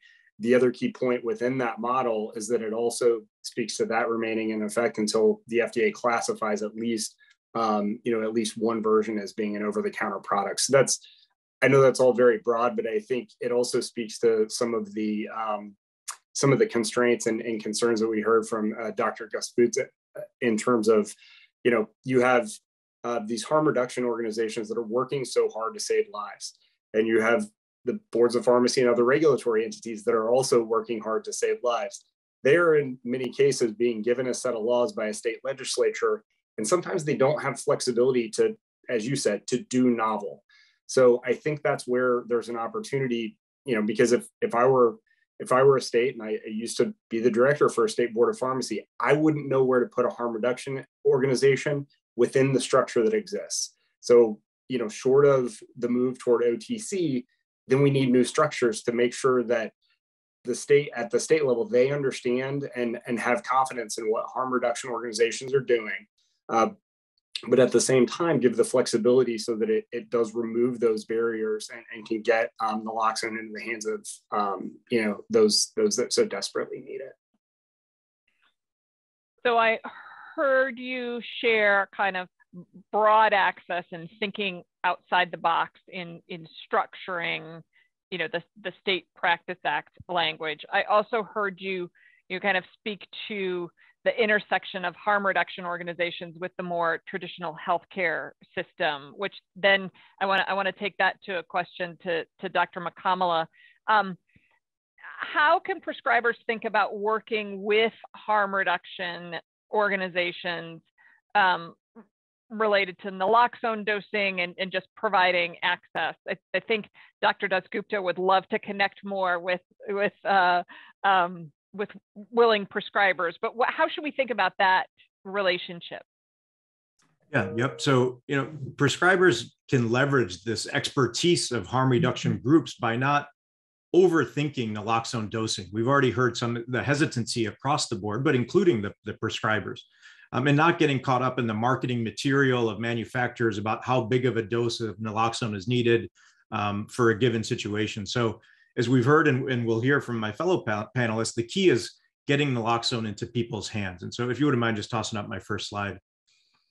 So, you know, manufacturers want to sell um, as much product as possible. And, and while that's not surprising, uh, we're in an unprecedented epidemic. And so new products of increased dosages are good in the sense that there are more options available, but not if those options remain behind the counter and in particular cost prohibitive. Um, I'm not sure if the slide's up or not, but but it's basically somebody looking through their wallet um, at the pharmacy counter. Yeah, there exactly. So so it's essential that that we all recognize the tens of thousands of lives that are saved because of the tireless work done by harm reduction organizations across the country. But naloxone can't save a life if it's unaffordable or not accessible for any reason. So the, you know the nation's overdose epidemic is about unintentional overdose at this point. And that's why it's essential, it's, it's essential that we listen more closely to these harm reduction organizations about naloxone dosing, naloxone availability, removing stigma, um, and other initiatives that will increase access to naloxone and other services, including you know sterile needles, syringes, um, drug supplies, drug checking supplies. But you know whether it's two milligrams or four milligrams or eight milligrams of naloxone, if it's not in the community, it's not saving lives. And, and when naloxone is cost prohibitive at the pharmacy counter, like in this picture, it's definitely not saving lives. So furthermore, we, we should not view naloxone in a vacuum as though it's the only harm reduction tool in the toolbox, but it is an essential tool. And that's why we're talking about it today. It has decades of proven efficacy and knowledge about dosing is important. So let's discuss it, but we need to make sure that that discussion doesn't hinder the access. So in other words, given the multiple formulations and delivery devices, let's keep the focus on getting the product into the hands of people where it can save lives. Uh, but but that means making it widely available at affordable prices, right? And so in our pharmacies and our harm reduction facilities, somebody's got to buy this stuff. So making naloxone available OTC will help remove stigma and pressure manufacturers, hopefully, to make the products more affordable. Um, and removing naloxone's prescription status also makes it much easier and more affordable for organizations to bulk purchase, right? The, the, the, the backstop here that, that's saving people's lives. So meanwhile, physicians must continue to do our part to prescribe naloxone to someone at, at increased risk of overdose. Uh, but the current products on the market are effective. They're just not used as often as necessary. So once again, I just you know want to emphasize that the question about dosing is an important one, but it is secondary and shouldn't detract from the need to get more naloxone into the hands of these harm reduction organizations. So helpful and in, in, in reminding us that part of the solution here is collaboration, right? And, and thinking through uh, you know, an, an, antidote is not at all helpful if it's not where it needs to be administered. If it's not available there, we've got to have the the antidote um, present. Um, so let me, we did kind of the physician side. Let me turn on the the pharmacist side. Dr. Bratberg, um, how else can pharmacists contribute to increasing access to naloxone? You you um, spoke a bit about the um, component as it relates to kind of collaborative practice and, and training and other pieces. Are there other things that we can think about? Are there model programs that expand pharmacy access? Yeah, I think I always like to take a step back and go, you know, how many of us got our COVID-19 vaccines in in pharmacies? Well, I can tell you what the national figure is, it's between 70 to 80%. You know why that is? So we got paid to do it right? Because of partnerships with the federal government, because pharmacists are recognized as public health experts. And while I will tell you, everyone can point out a pharmacist, and they do, that some pharmacists don't sell syringes and they don't sell naloxone, they don't stock buprenorphine. There's a lot that do and have done a lot of good. But you know what? Almost every single one did vaccines, despite how they're perceived in some some fields. So because you know, so we've learned that partnering with the federal government or partnering with with insurance companies and really eh, to continue the conversation, partnering with harm reduction groups. You know, Rhode Island, where I'm lucky to work, uh, is fantastic in terms of we have vending machines. They have naloxone in them. We have a harm, we're going to have harm reduction centers, state sanctioned, regulated harm reduction centers. They're going to have naloxone in them. We have naloxone in all of our pharmacies. Again, highest density. Where we don't have it is over the counter right? My colleague, uh, Anita Jacobson, Dr. Jacobson runs the Community First Responder Program with a great online program distributing naloxone. And she actually goes to pharmacy parking lots. And there are people who walk by this table giving away free anonymous naloxone, right? People go into the pharmacy and they come out and they may say no, and they actually say yes when they come out. On our college campus, I have students asking for naloxone because they don't want their parents' insurance to know that they're purchasing it the anonymity aspect is really essential. And so partner with harm reduction organizations, putting vending machines outside pharmacies, and one aspect to reach known identified folks at highest risk of overdose are, are partnering with op- opioid treatment programs. These are called dyads, really, where the opioid treatment program only does buprenorphine, maybe naltrexone and methadone, but they don't have naloxone. And so these programs partner with the pharmacy, runs it through their insurance, uh, most often public insurance. Again, it's important we expand Medicaid in all states. That's proven to reduce overdose deaths. So payments essential part of this. And so the pharmacy actually ships or delivers the naloxone to the OTP, and we found great success, and we pioneered that here. And that is a way to, uh, you know, increase health equity, focusing on those people at highest risk. You know, I'd encourage. We have new uh, the, the, we have uh, fewer restrictions on mobile methadone programs. Let's distribute methadone because we can't do it in pharmacies in the US, we can in Canada and many other places successfully. Another aspect we need to change. Well, let's put mobile methadone in the pharmacy parking lots and have that dyad happen right there. That is how we're going to do it, right? Again, sell syringes, let's have pharmacists, uh, you know, prescribe buprenorphine would be great, become waiver providers, but really bringing these people together because pharmacies are known, they're visible, the experts are there, and the more naloxone that we dispense, the decreased societal and healthcare worker stigma that we have. So it's not only expanding access. I'm really intrigued by this idea of the, you know, the opportunity to access naloxone in the parking lot, right, and and and broadening it there. But it's also about normalizing the availability of an antidote and that it is um, not only acceptable but perhaps our responsibility to have antidotes available when we could when we could help someone. Um, uh, uh, Dr. Sokolowska, um, we've had the concept of vending machines come up.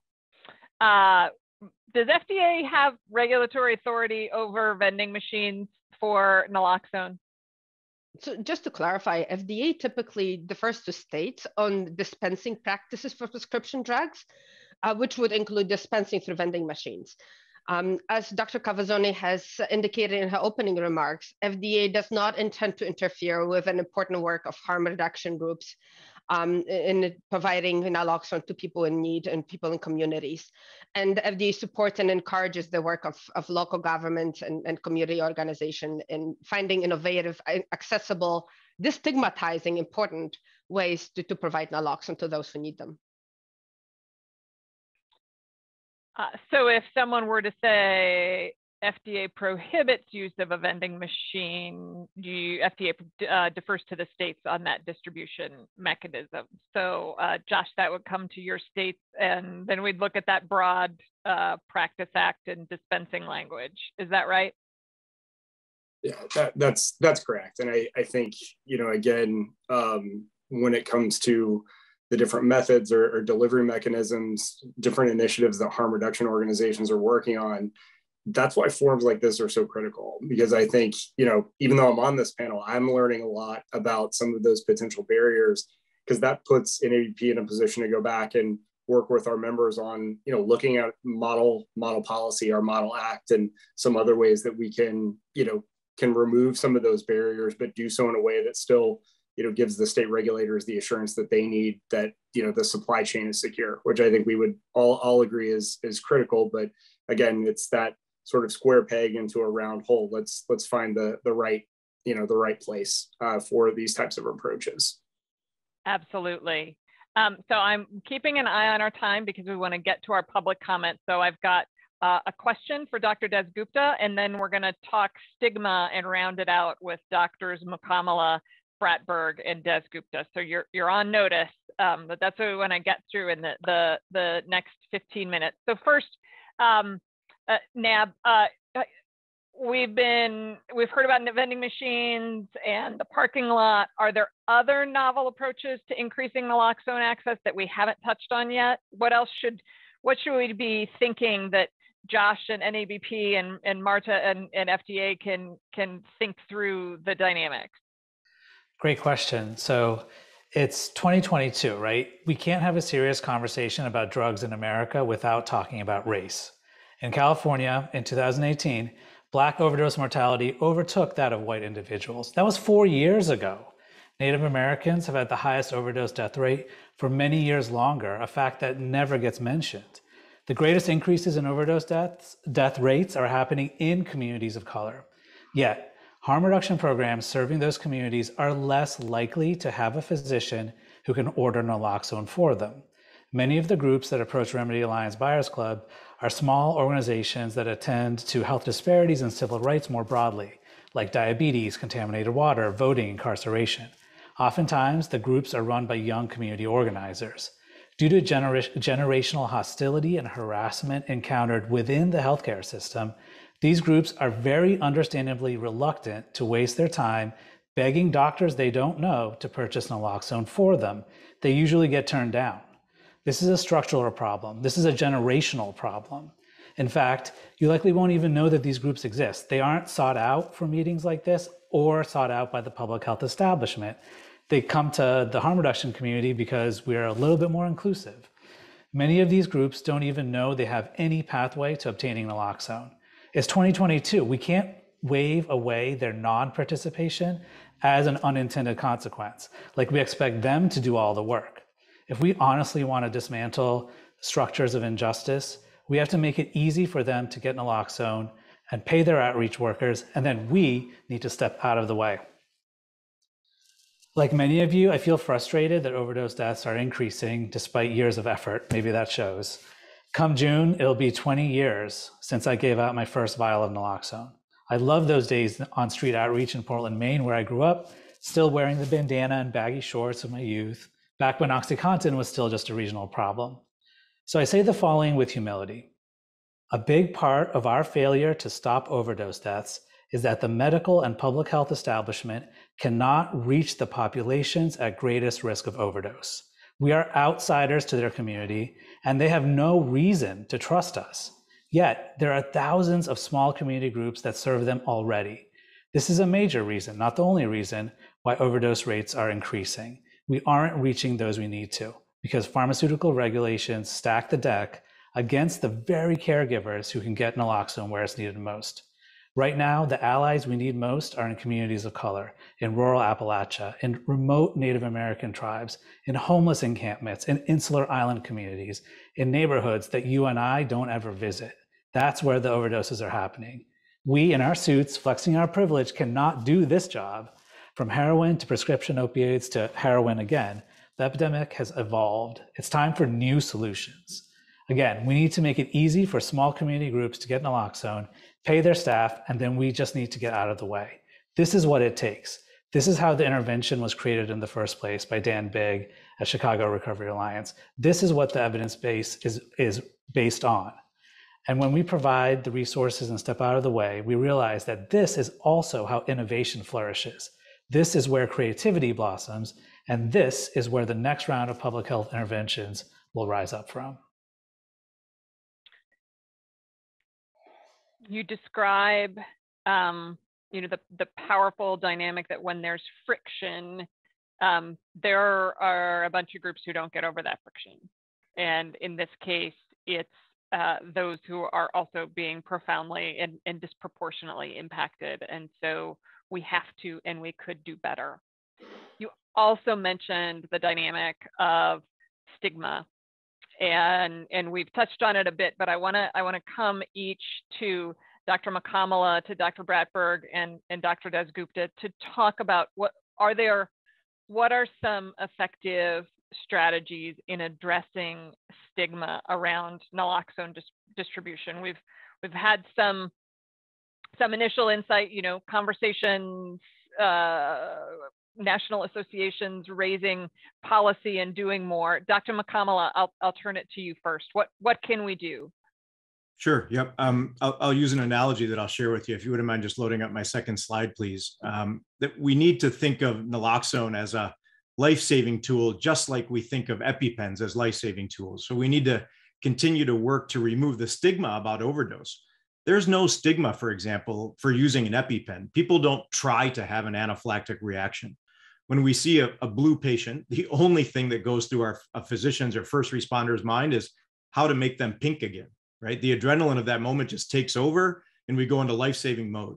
Whether the patient's blue from eating a peanut that they're allergic to or from an overdose of an opioid, our compassion and care is the same. It should be the same. So that same compassion should be applied to the time before the emergency, right? We shouldn't look at a patient with a peanut allergy different than we look at a person with a substance use disorder when we stock a pharmacy with EpiPens or naloxone.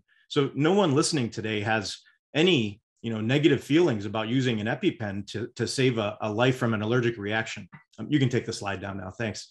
So what's different about naloxone, right? I mean, I get that there are differences between allergic reactions and overdose events, but our focus should be, as, as, as said by Director Gupta, to support overdose first aid, right? So if someone gets stung by a bee and goes into anaphylaxis, we don't criticize or look down at that person. Um, if someone begins to overdose, our reaction should be to save that individual's life. And our subsequent actions should be to support them so it doesn't happen again. That's the essence, I believe, of sort of what the AMA has learned from harm reduction organizations and our physician colleagues in addiction medicine and psychiatry to meet people where they are.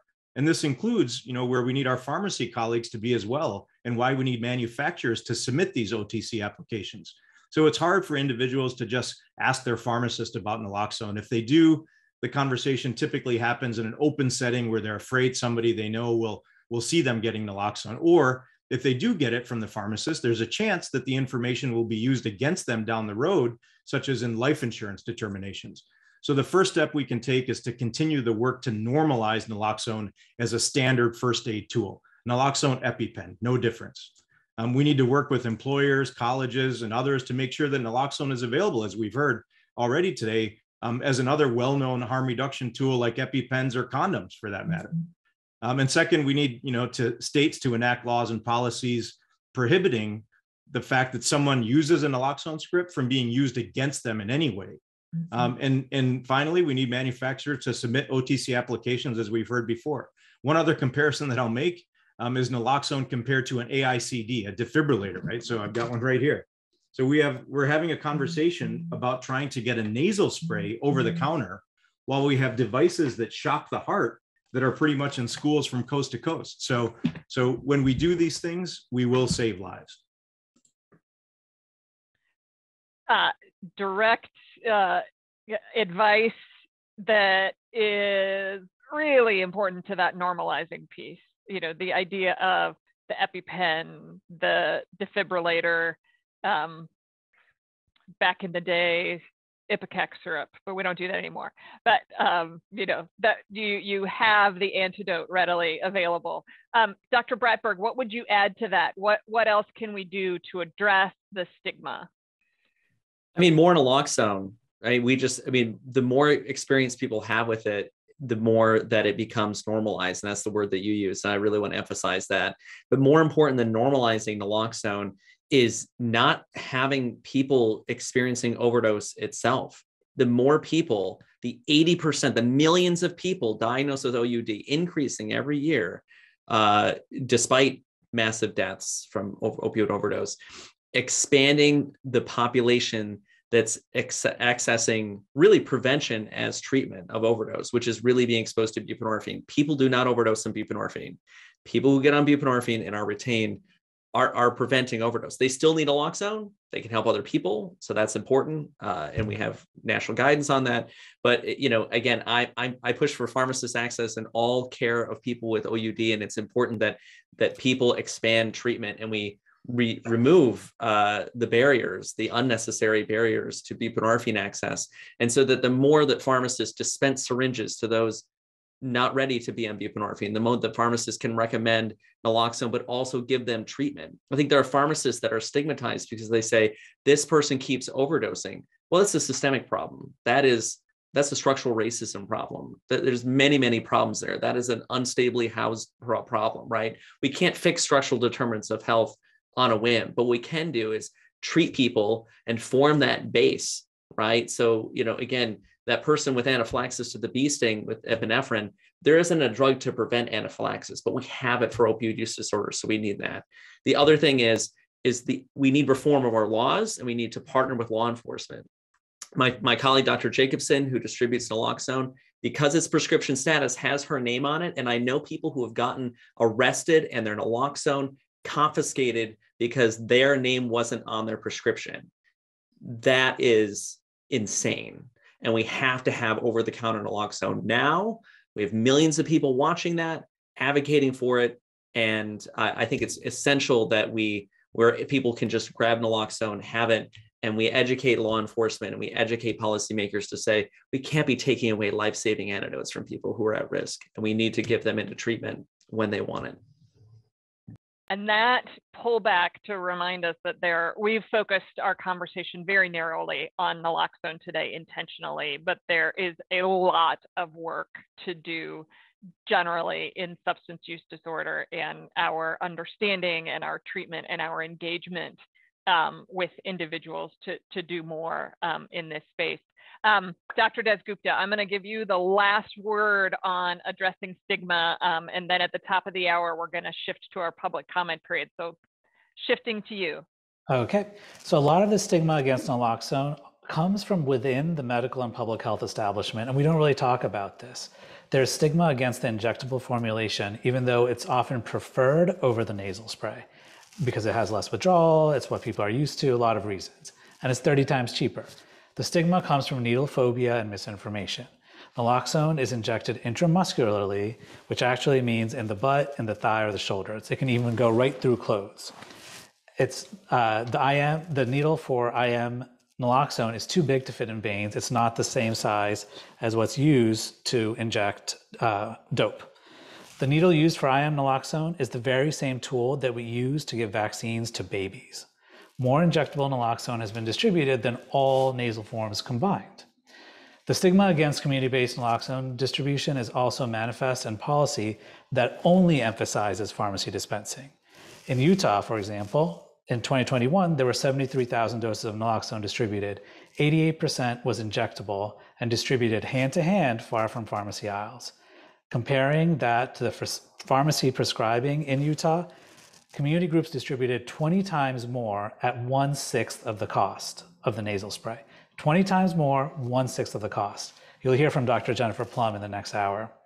The most direct way to motivate policymakers and news reporters and everybody else to fight this stigma is a simple field trip. You've all been working on naloxone for a while now. What's prevented you from going to the pharmacy and requesting naloxone with your health insurance? Fear of being labeled as a drug seeker, having a recorded transaction, a lot of the things that Dr. Bratberg talked about. Here's what I think.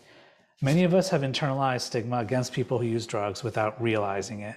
And sometimes it colors our professional judgment. And so this is something that I've come to recognize and I've had to fight to overcome. Now, imagine going back and asking for a refill at a pharmacy. Super savers, so people who have reversed six or more overdoses, make up a disproportionate number of reported community saves. It's a common phenomenon that has been documented from California to Norway to Vietnam.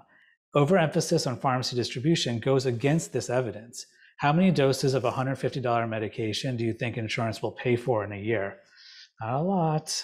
The people who do the most good incur the greatest stigma and face the greatest barriers. So, look, I'm a fan of pharmacy access. The program I founded in my state, Project Lazarus, was the first program to do pharmacy based naloxone distribution in the country. I think pharmacists have a really important role to play. And but right now, in this moment, what we need to do is ramp up community-based distribution with affordable naloxone. We need to pay outreach workers and we need to get out of the way. To our federal officials, if this is the moment, if this is the moment that help will come, please let it be quick because frankly, our expectations are pretty low. Profound final comment. Thank you. Thank you all for joining us for this roundtable. And um, I hope we've captured and answered some questions and that we'll start to make some progress. I'm going to step away and so that we can turn to the final part of our uh, session today uh, and do the public comment. So thank you so very much.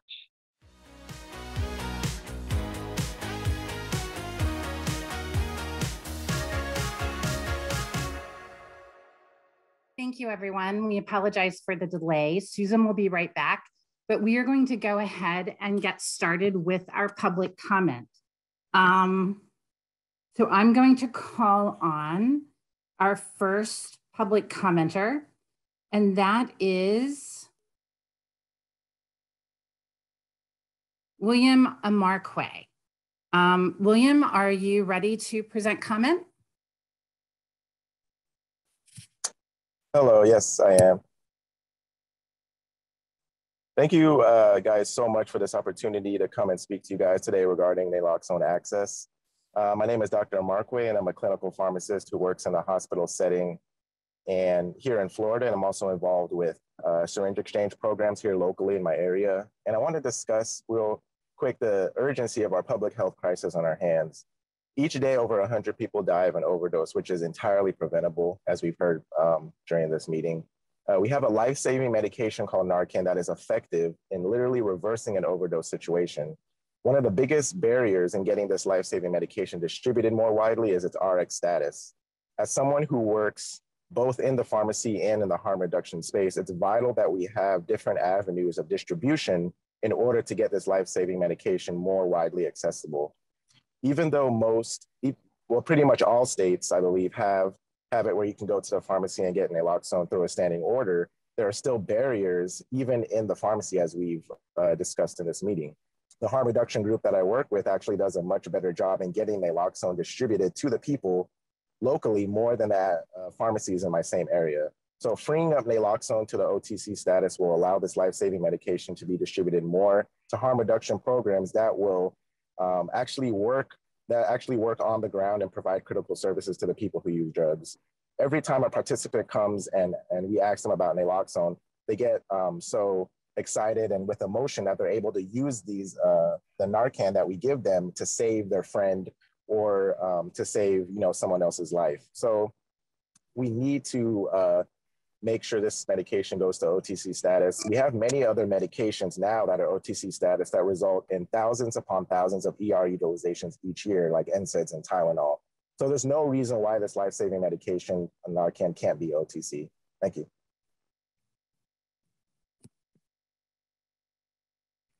Thank you for your comment. We do appreciate it.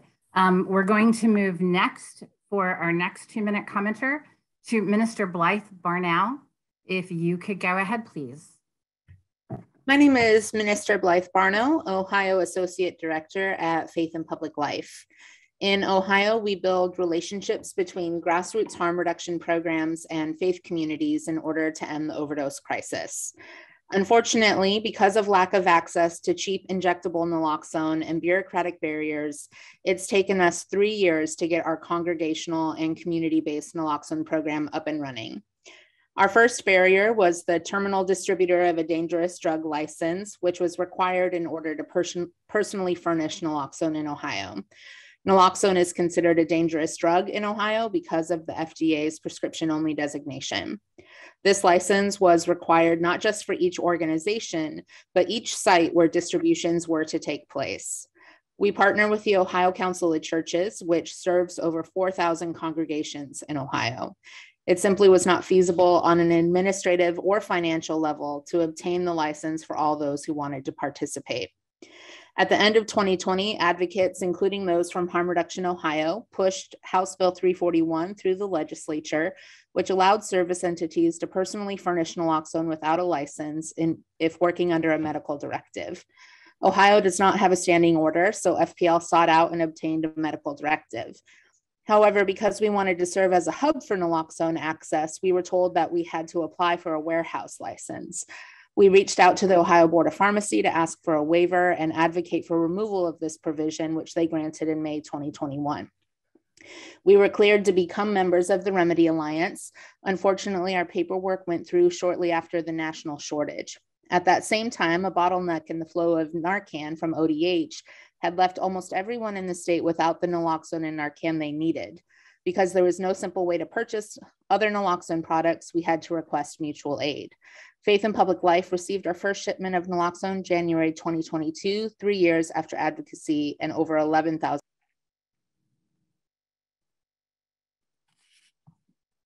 Thank you so much for your comment. We do appreciate it. And we just want to remind all of our public commenters that we are strictly adhering to a two minute um, limitation so that we can hear from as many people as possible who registered in advance. Um, Susan, it looks like you're back on, so I will turn over to you. Wonderful. Thanks so much, Leanne. So our next presenter is Alice Bell from Prevention Point Pittsburgh.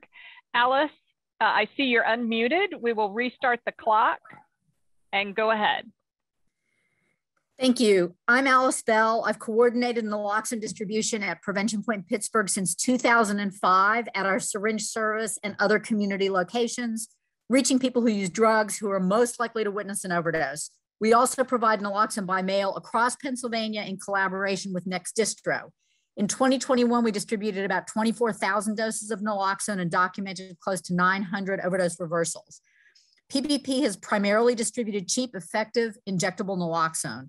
In 2021, disruptions in supply forced us to rely heavily on nasal naloxone provided by the state, struggling to maintain enough supply of injectable naloxone for those who prefer that formulation. Then a gap in funding curtailed the state supply, shifting our reliance back to injectable.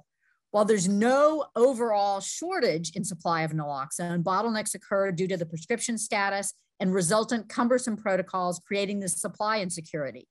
I spend an inordinate amount of time monitoring fluctuations in supply to anticipate stockpile, try to ensure there's no gaps in our ability to provide naloxone to people who are saving lives every day. Prevention Point has our own standing order prescription that includes injectable naloxone, but other organizations in Pennsylvania are dependent on state standing orders, which don't include the inexpensive injectable formulation. We employ a half-time staff person to help people across the state navigate the process of obtaining naloxone through their county agencies, and if that proves impossible, through the state portal.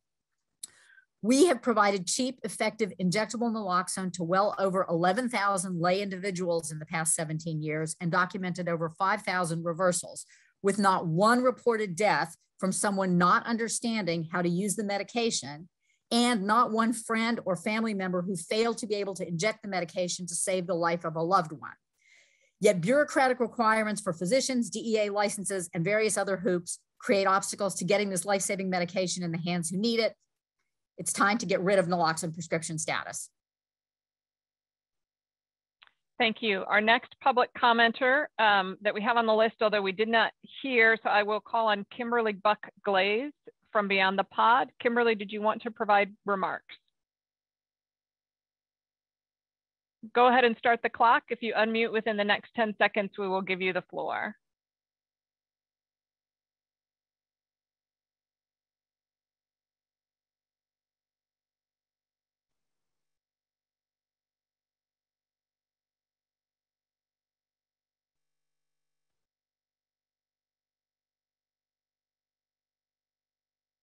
Okay, so we're at the 10 seconds. Um, Robert Childs with JBS International is next. So if we stop that clock, uh, Busy, would you unmute? Yes, there we go.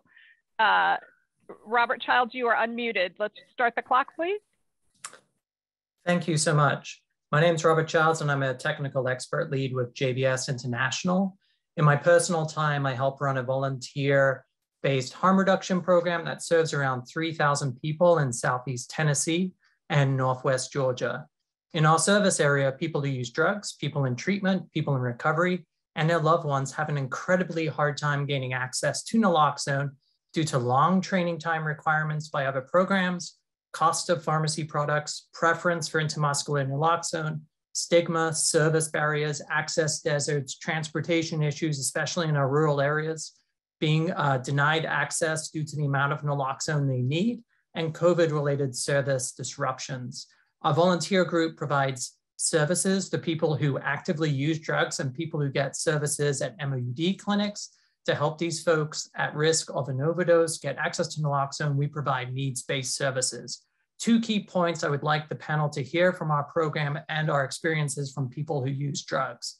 One, our group cannot provide needs-based focus services without access to low cost and donated intramuscular naloxone. We would not operate if we could only access higher price formulations. They are out of our budget, which is almost no dollars. Two, in Southeast Tennessee and Northwest Georgia, people want low dose intramuscular naloxone. In fact, 95.8% of our program's distribution is intramuscular naloxone, and that is what people ask for and want.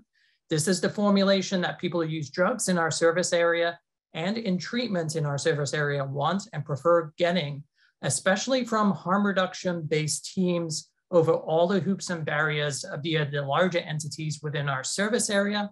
And also folks wanna gain access to the services from harm reduction folks over having to deal with high prices at pharmacies. I thank you for your time. Thank you.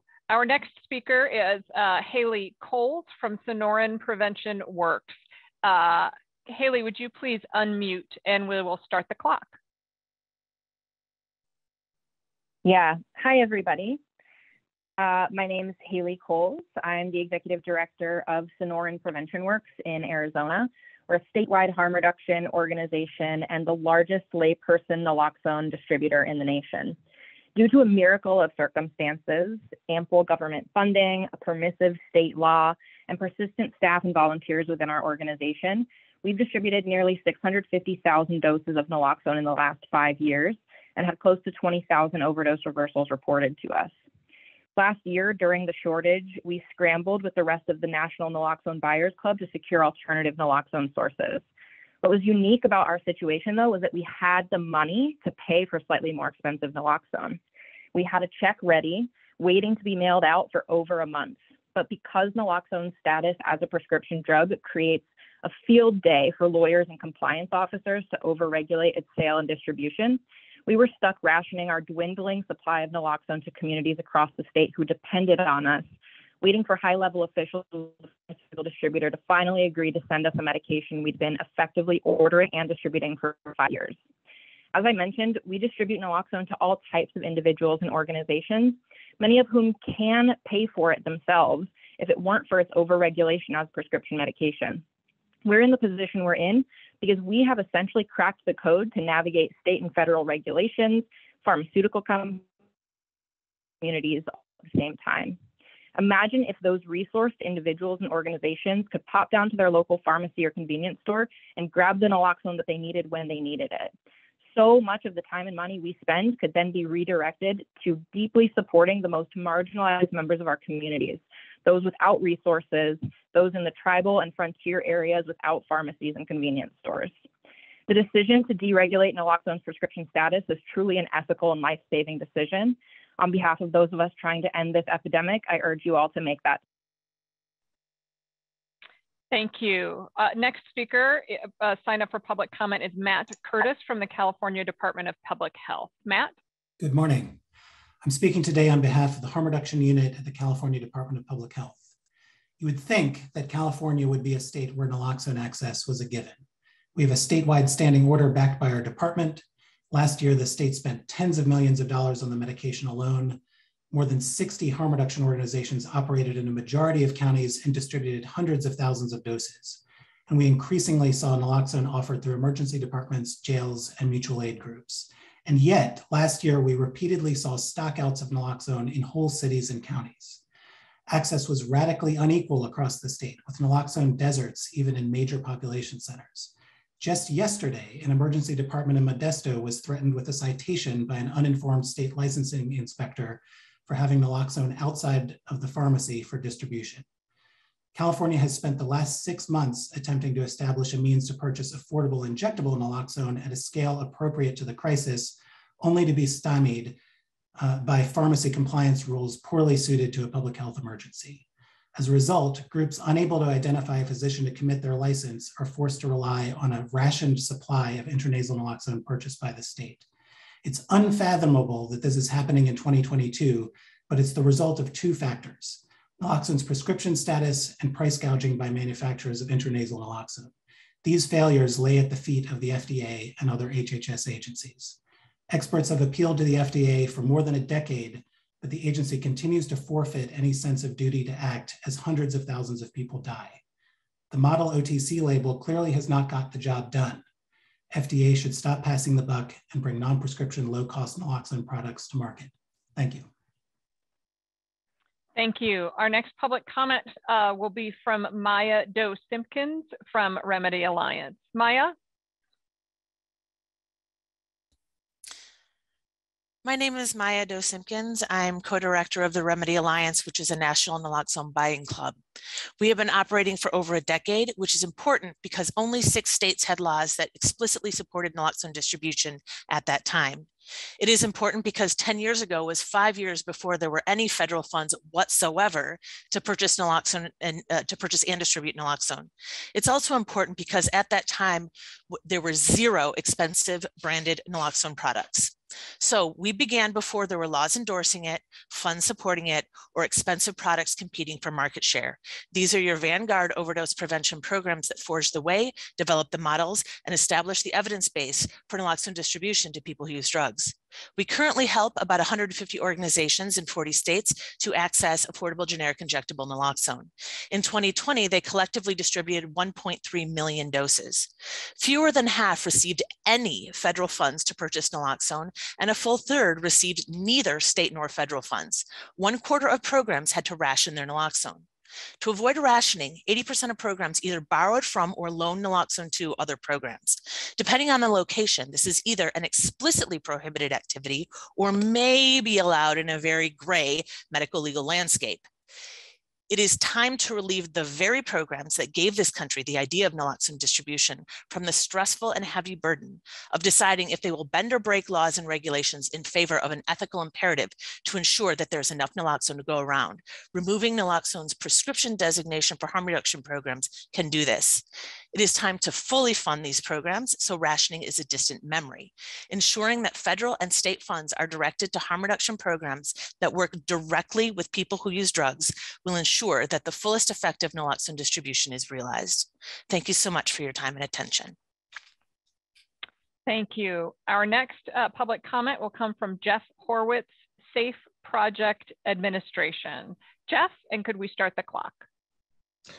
Good afternoon. Thank you very much for the opportunity to speak today. My name is Jeff Horwitz, and I am the Chief Operating Officer for SAFE Project. SAFE Project is a national nonprofit dedicated to building collaboration to address the addiction crisis around the country. Collaboration must occur at all levels for us to overcome this crisis. None of us can do this alone, but working together, we can have the best chance to succeed. And that's why we applaud the work of the foundation as well as the FDA today. Every day, SAFE Projects works with family members, direct service providers, policymakers, and others. And so we have a unique perspective to convey many of the concerns relating to naloxone access. Many of those concerns have been discussed today, and we support them wholeheartedly in some of the solutions, such as the benefits of a federal standing order, the need to co-prescribe mandates, creation of consistent guidance and directions for pharmacies for, for, to provide naloxone, a national locator to locate naloxone, requiring naloxone on college campuses, workplace first aid kits, concerts, and sporting arenas. Addressing unintended consequences is also important, such as the risk of life insurance implications of naloxone and edu providing education and access to naloxone for children under the age of 18 that are seeing this in tragic numbers. But we must emphasize that none of these efforts will succeed until we find a way to normalize the fact that addiction is a disease, overdoses will occur, and naloxone is not harmful. Conversations like today's are helpful, but we are talking to an interested audience. The greatest impact that we could have is to address those that believe that this is not their problem. Whether it is a construction worker that is two times more likely to struggle with substance use disorder, the student who believes that an extra pill might take the pain away, or a parent who's uncomfortable asking nalox for naloxone at a pharmacy, we must act now. Until we can overcome this stigma and convince them all that this is a crisis affecting all of us, these great naloxone access programs will be limited and have limited effect. I thank you for the opportunity to speak and I wish us all the luck. Thank you. Our next public commenter uh, will be Michael Hufford from Harm Reduction Therapeutics. Michael? Hi, thank you. My name is Dr. Michael Hufford. I'm the co-founder and CEO of Harm Reduction Therapeutics, a 501c3 nonprofit pharmaceutical company founded in 2017 whose mission is to make low-cost OTC naloxone available to everyone. Our three milligram OTC intranasal naloxone product, tentatively trade named Revive, is currently on track for an NDA submission in the fourth quarter of this year with a likely commercial launch in the first quarter of 2024. We appreciate the FDA has a difficult mission and are often understaffed to accomplish it and work diligently with sponsors to advance their applications. At HRT, we have had and continue to have numerous meetings with the FDA as we prepare for our in, our NDA filing. I want to point out what I believe, though, are some fundamental disconnects between the FDA's public pronouncements about their interest in OTC naloxone and the reality for pharmaceutical sponsors. It is these disconnects that continue to hamper and delay OTC naloxone product applications.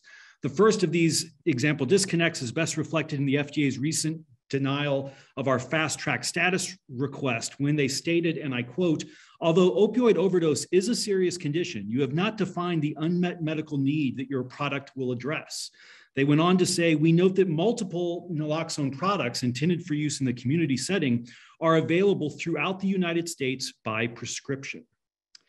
Likewise, the FDA's Division of Medication Error Prevention and Analysis has been three months late getting us feedback on our human factors work with suggestions that are both overly complicated and make the study prone to artificial failure. In sum, it has often been said that hell is full of good meanings, but heaven is full of good works. It is my hope that the FDA will embrace this critical distinction between good meanings and good action and ensure that their reviewers and future ADCOM members focus on enabling good works, including those by harm reduction therapeutics, to make low cost OTC naloxone a reality. Thank you. Thank you. Our next public commenter is Larry Kennemore from Rotary. Uh, Larry, and let's start the clock.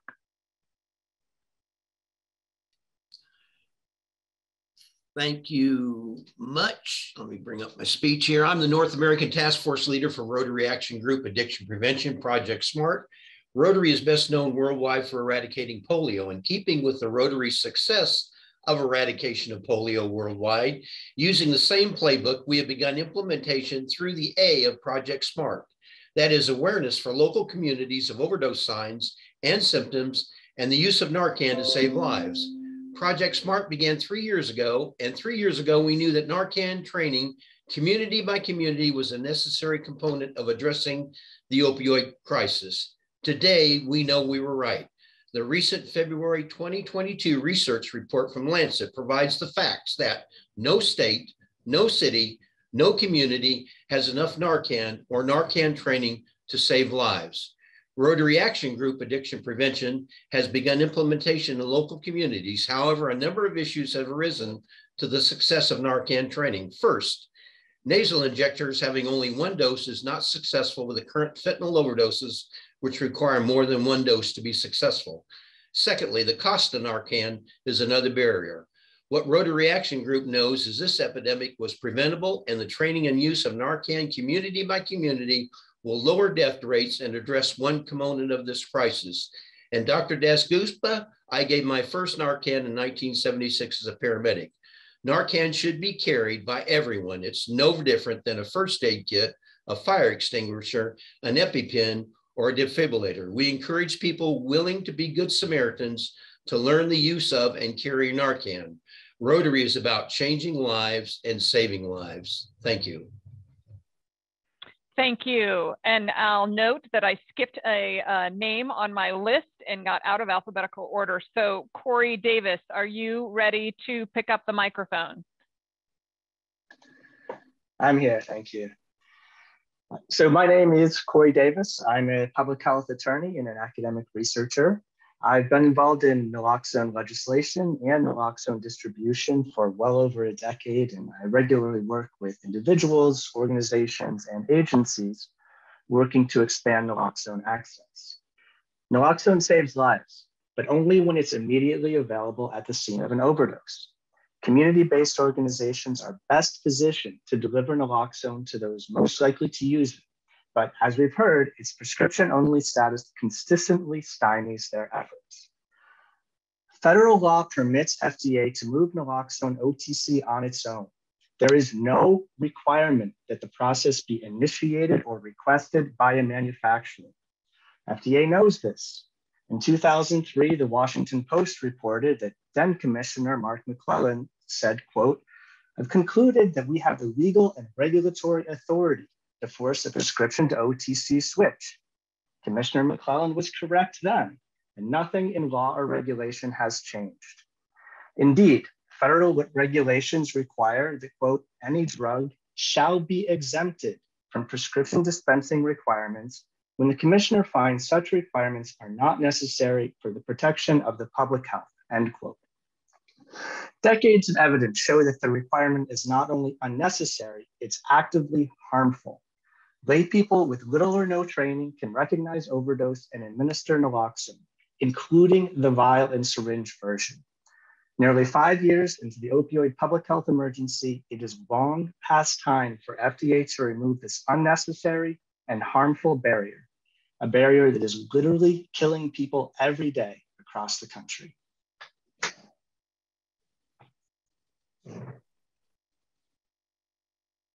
Thank you. Our next public comment comes from uh, Dr. Stephen Linder. Dr. Linder, and let's restart the microphone. Thank you. Uh, this is Dr. Steve Linder uh, from Palo Alto, California. I've been working with OAND programs in Northern California, as well as monitoring social media platforms and assessing concerns and attitudes of first responders on naloxone use. My major concern now is, as the Rotary spokesman said, is the illicit fentanyl problem, which is new from the prior problem of prescription opioid and heroin overdose.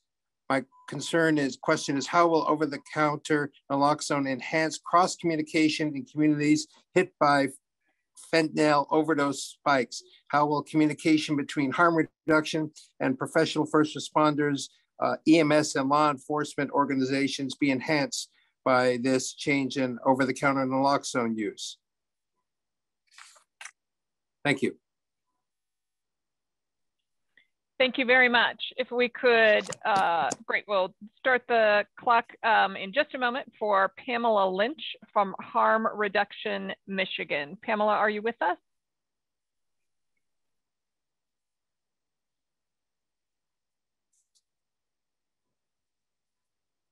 Hello? Yes. Pamela, okay, go sorry. ahead. All right. Hi, uh, everyone. My name is Pam Lynch, and I run a statewide organization in Michigan called Harm Reduction Michigan. Um, I started naloxone work. I had uh, the privilege of working with Dan Bigg in 1999 and learned a lot in that in that role. So um, I'm excited because I hear a lot of people talking today that we understand how important the option is for injectable naloxone to be continued and continually available to the populations in this country that find that the most beneficial.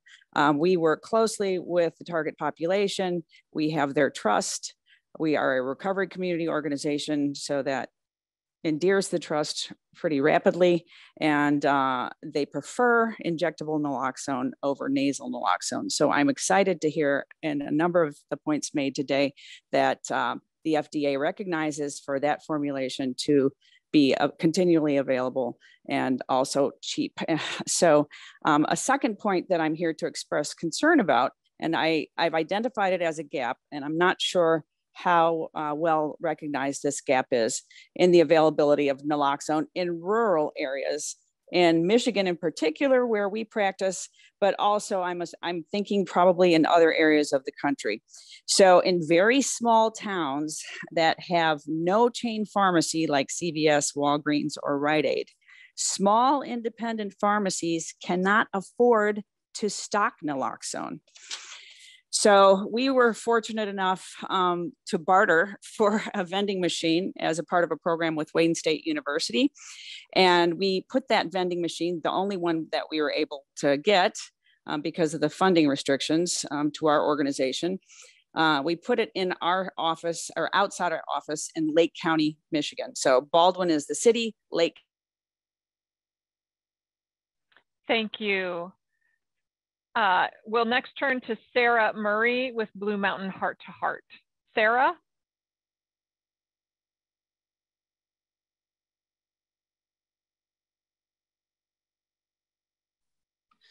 Hi, I'm Sarah Murray.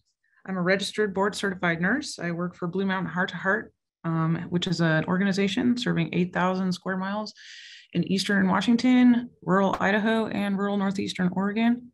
Um, we could not distribute naloxone without access to the special low cost prices that we are forbidden to talk about. Um, these are not available to regular outside folks who are going to the pharmacy. Um, if you go to a pharmacy here in the area, one syringe of naloxone costs $125 without insurance. A lot of times it takes two or more, sometimes, especially with fentanyl, doses of naloxone to reverse an overdose.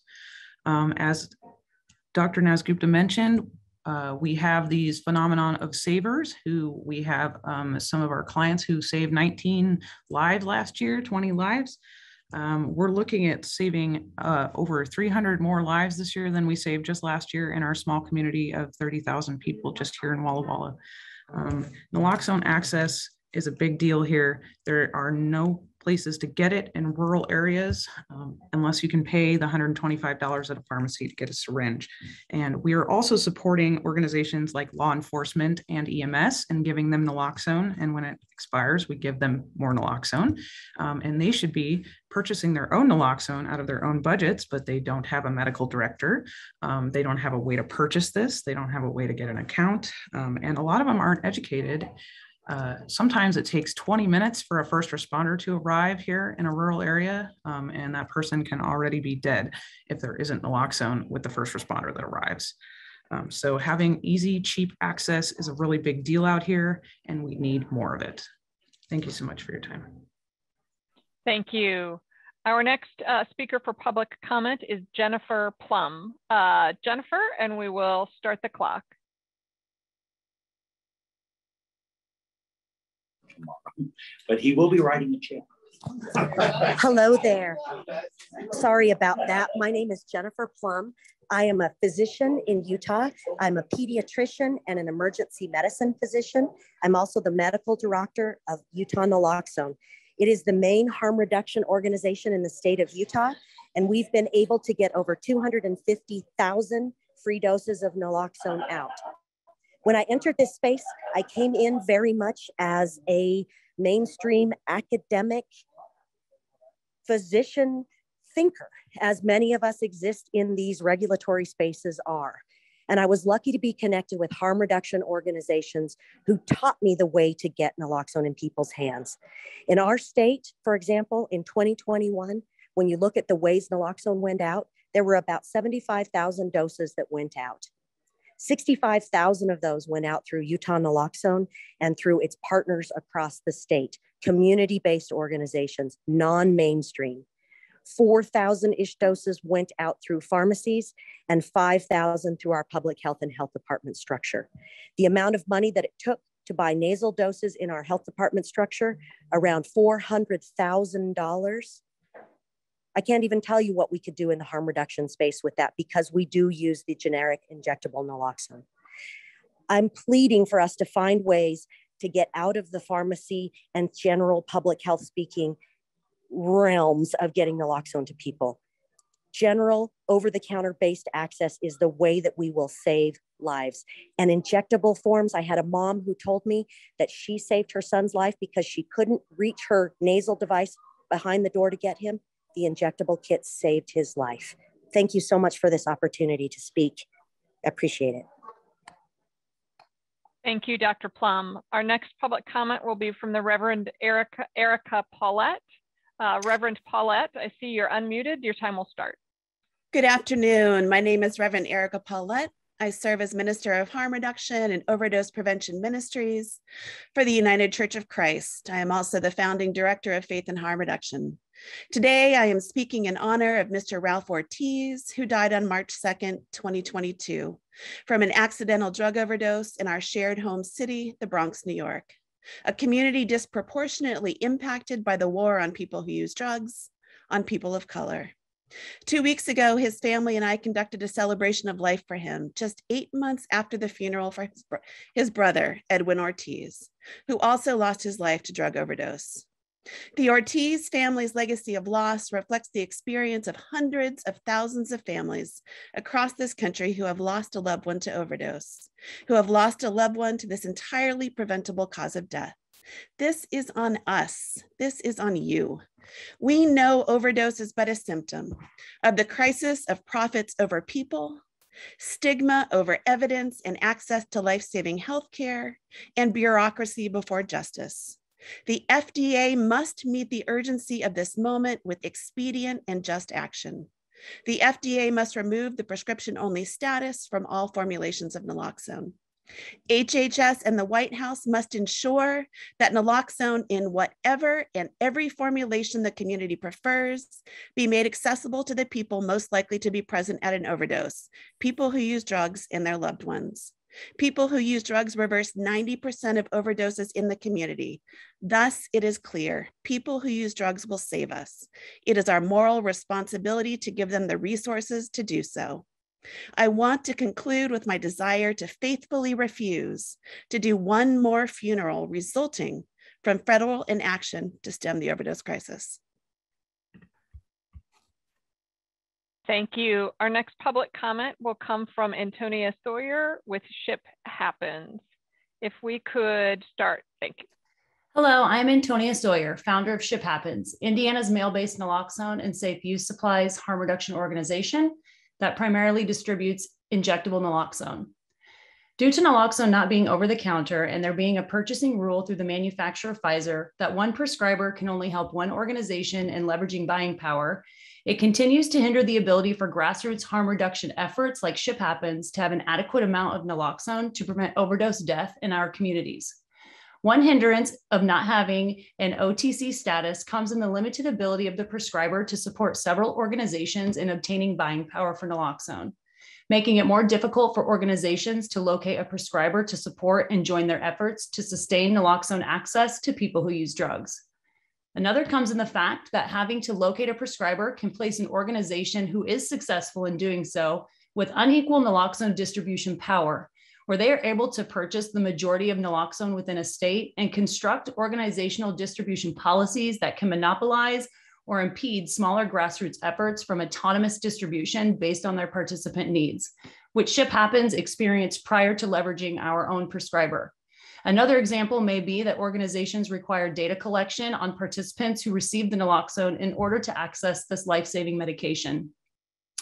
It is important to understand that making naloxone OTC will positively impact harm reduction entities that are grassroots, have limited resources, and may be working in highly stigmatized areas where prescribers choose not to participate. Limiting the ability for harm reduction efforts to begin, maintain, and sustain equitable access to overdose prevention for people who use drugs in their communities. I would like to close with words shared from people with lived experience in Indiana who are alive because of naloxone. Every person deserves a chance. If this can save just one, it is well worth it. Naloxone should have been available this like this years ago. A lot more lives could have been saved. Thank you. Our next public comment will be from Dr. Kimberly Sue. Dr. Sue with the National Harm Reduction Coalition. Hi, my name is Kim Sue. I'm an assistant professor at Yale and the medical director of the National Harm Reduction Coalition. In this capacity, I oversee naloxone distribution programs in New York City and state, and I have seen how broken the current naloxone distribution system is and how truly Byzantine it is, not just serving people who use drugs. Co-prescribing naloxone will not get us out of this problem. I co-prescribe naloxone daily as a physician. However, many of my colleagues do not, and my patients encounter numerous barriers to pharmacy access. I also have taken care of patients accessing harm reduction programs where they receive naloxone directly handed to them. DEA registrants like myself do not have to be involved in the distribution of naloxone and in these programs. Many people who use drugs do not come to see us because of structural violence, structural racism, and stigma. So the idea of writing it as a prescription through healthcare channels really doesn't make a lot of sense. Even looking at standing orders from New York State pharmacies, only a handful of people can access them. It's cumbersome for patients and for prescribers. One of the Yale addiction medicine fellows tried to access it here at the Yale pharmacy and was looked at with uh, disunderstanding, misunderstanding, and ignorance. So we know that people are not getting the naloxone they need because of this scarcity. Harm reduction groups like Next Distro are being forced to redistribute expired naloxone, which contributes to thousands of reversals. There's simply not enough access. In many cases, it's locked up in health departments, fire, or police.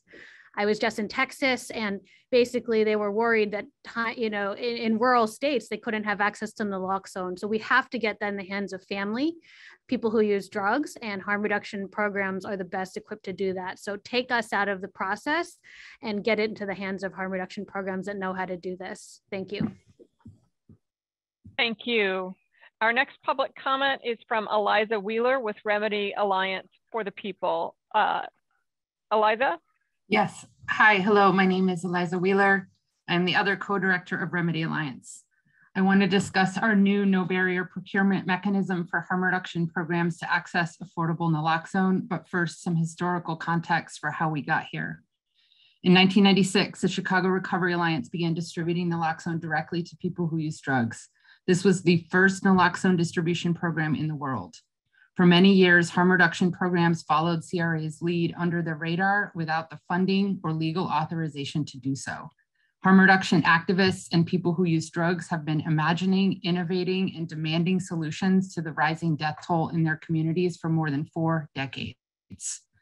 However, despite being the originators of this life-saving intervention, harm reduction programs still struggle to get adequate access to the naloxone that they need. They are systematically excluded from adequate funding, restricted by state legislation, avoided by risk averse medical providers, and stymied by pharmacy regulation and bureaucratic gatekeeping. They often receive inadequate quantities of naloxone from their state or local public health departments and still need to ration, borrow supplies, or raise their own funds to purchase what they need. They are forced to collect expired naloxone that has gone unused for redistribution to people who use drugs where it should have gone in the first place. Following in the footsteps of CRA and other groundbreaking colleagues throughout the years, Remedy Alliance has created a solution to address these issues. We will provide no barrier access to naloxone directly to harm reduction programs at low or no cost. We have listened to harm reduction programs, heard what the barriers are, and we will finally remove them. We are asking now that your regulatory structures adapt to us instead of us continuing to contort ourselves into compliance with rules that limit access to life saving medicine. In honor of our mentor, Dan Bigg, and over 1 million lives lost to overdose in just three years, we invite you to join us in implementing solutions. Thank you. Uh, and our final registered public comment will be from Doug White with Emergent Biosolutions. Uh, Doug?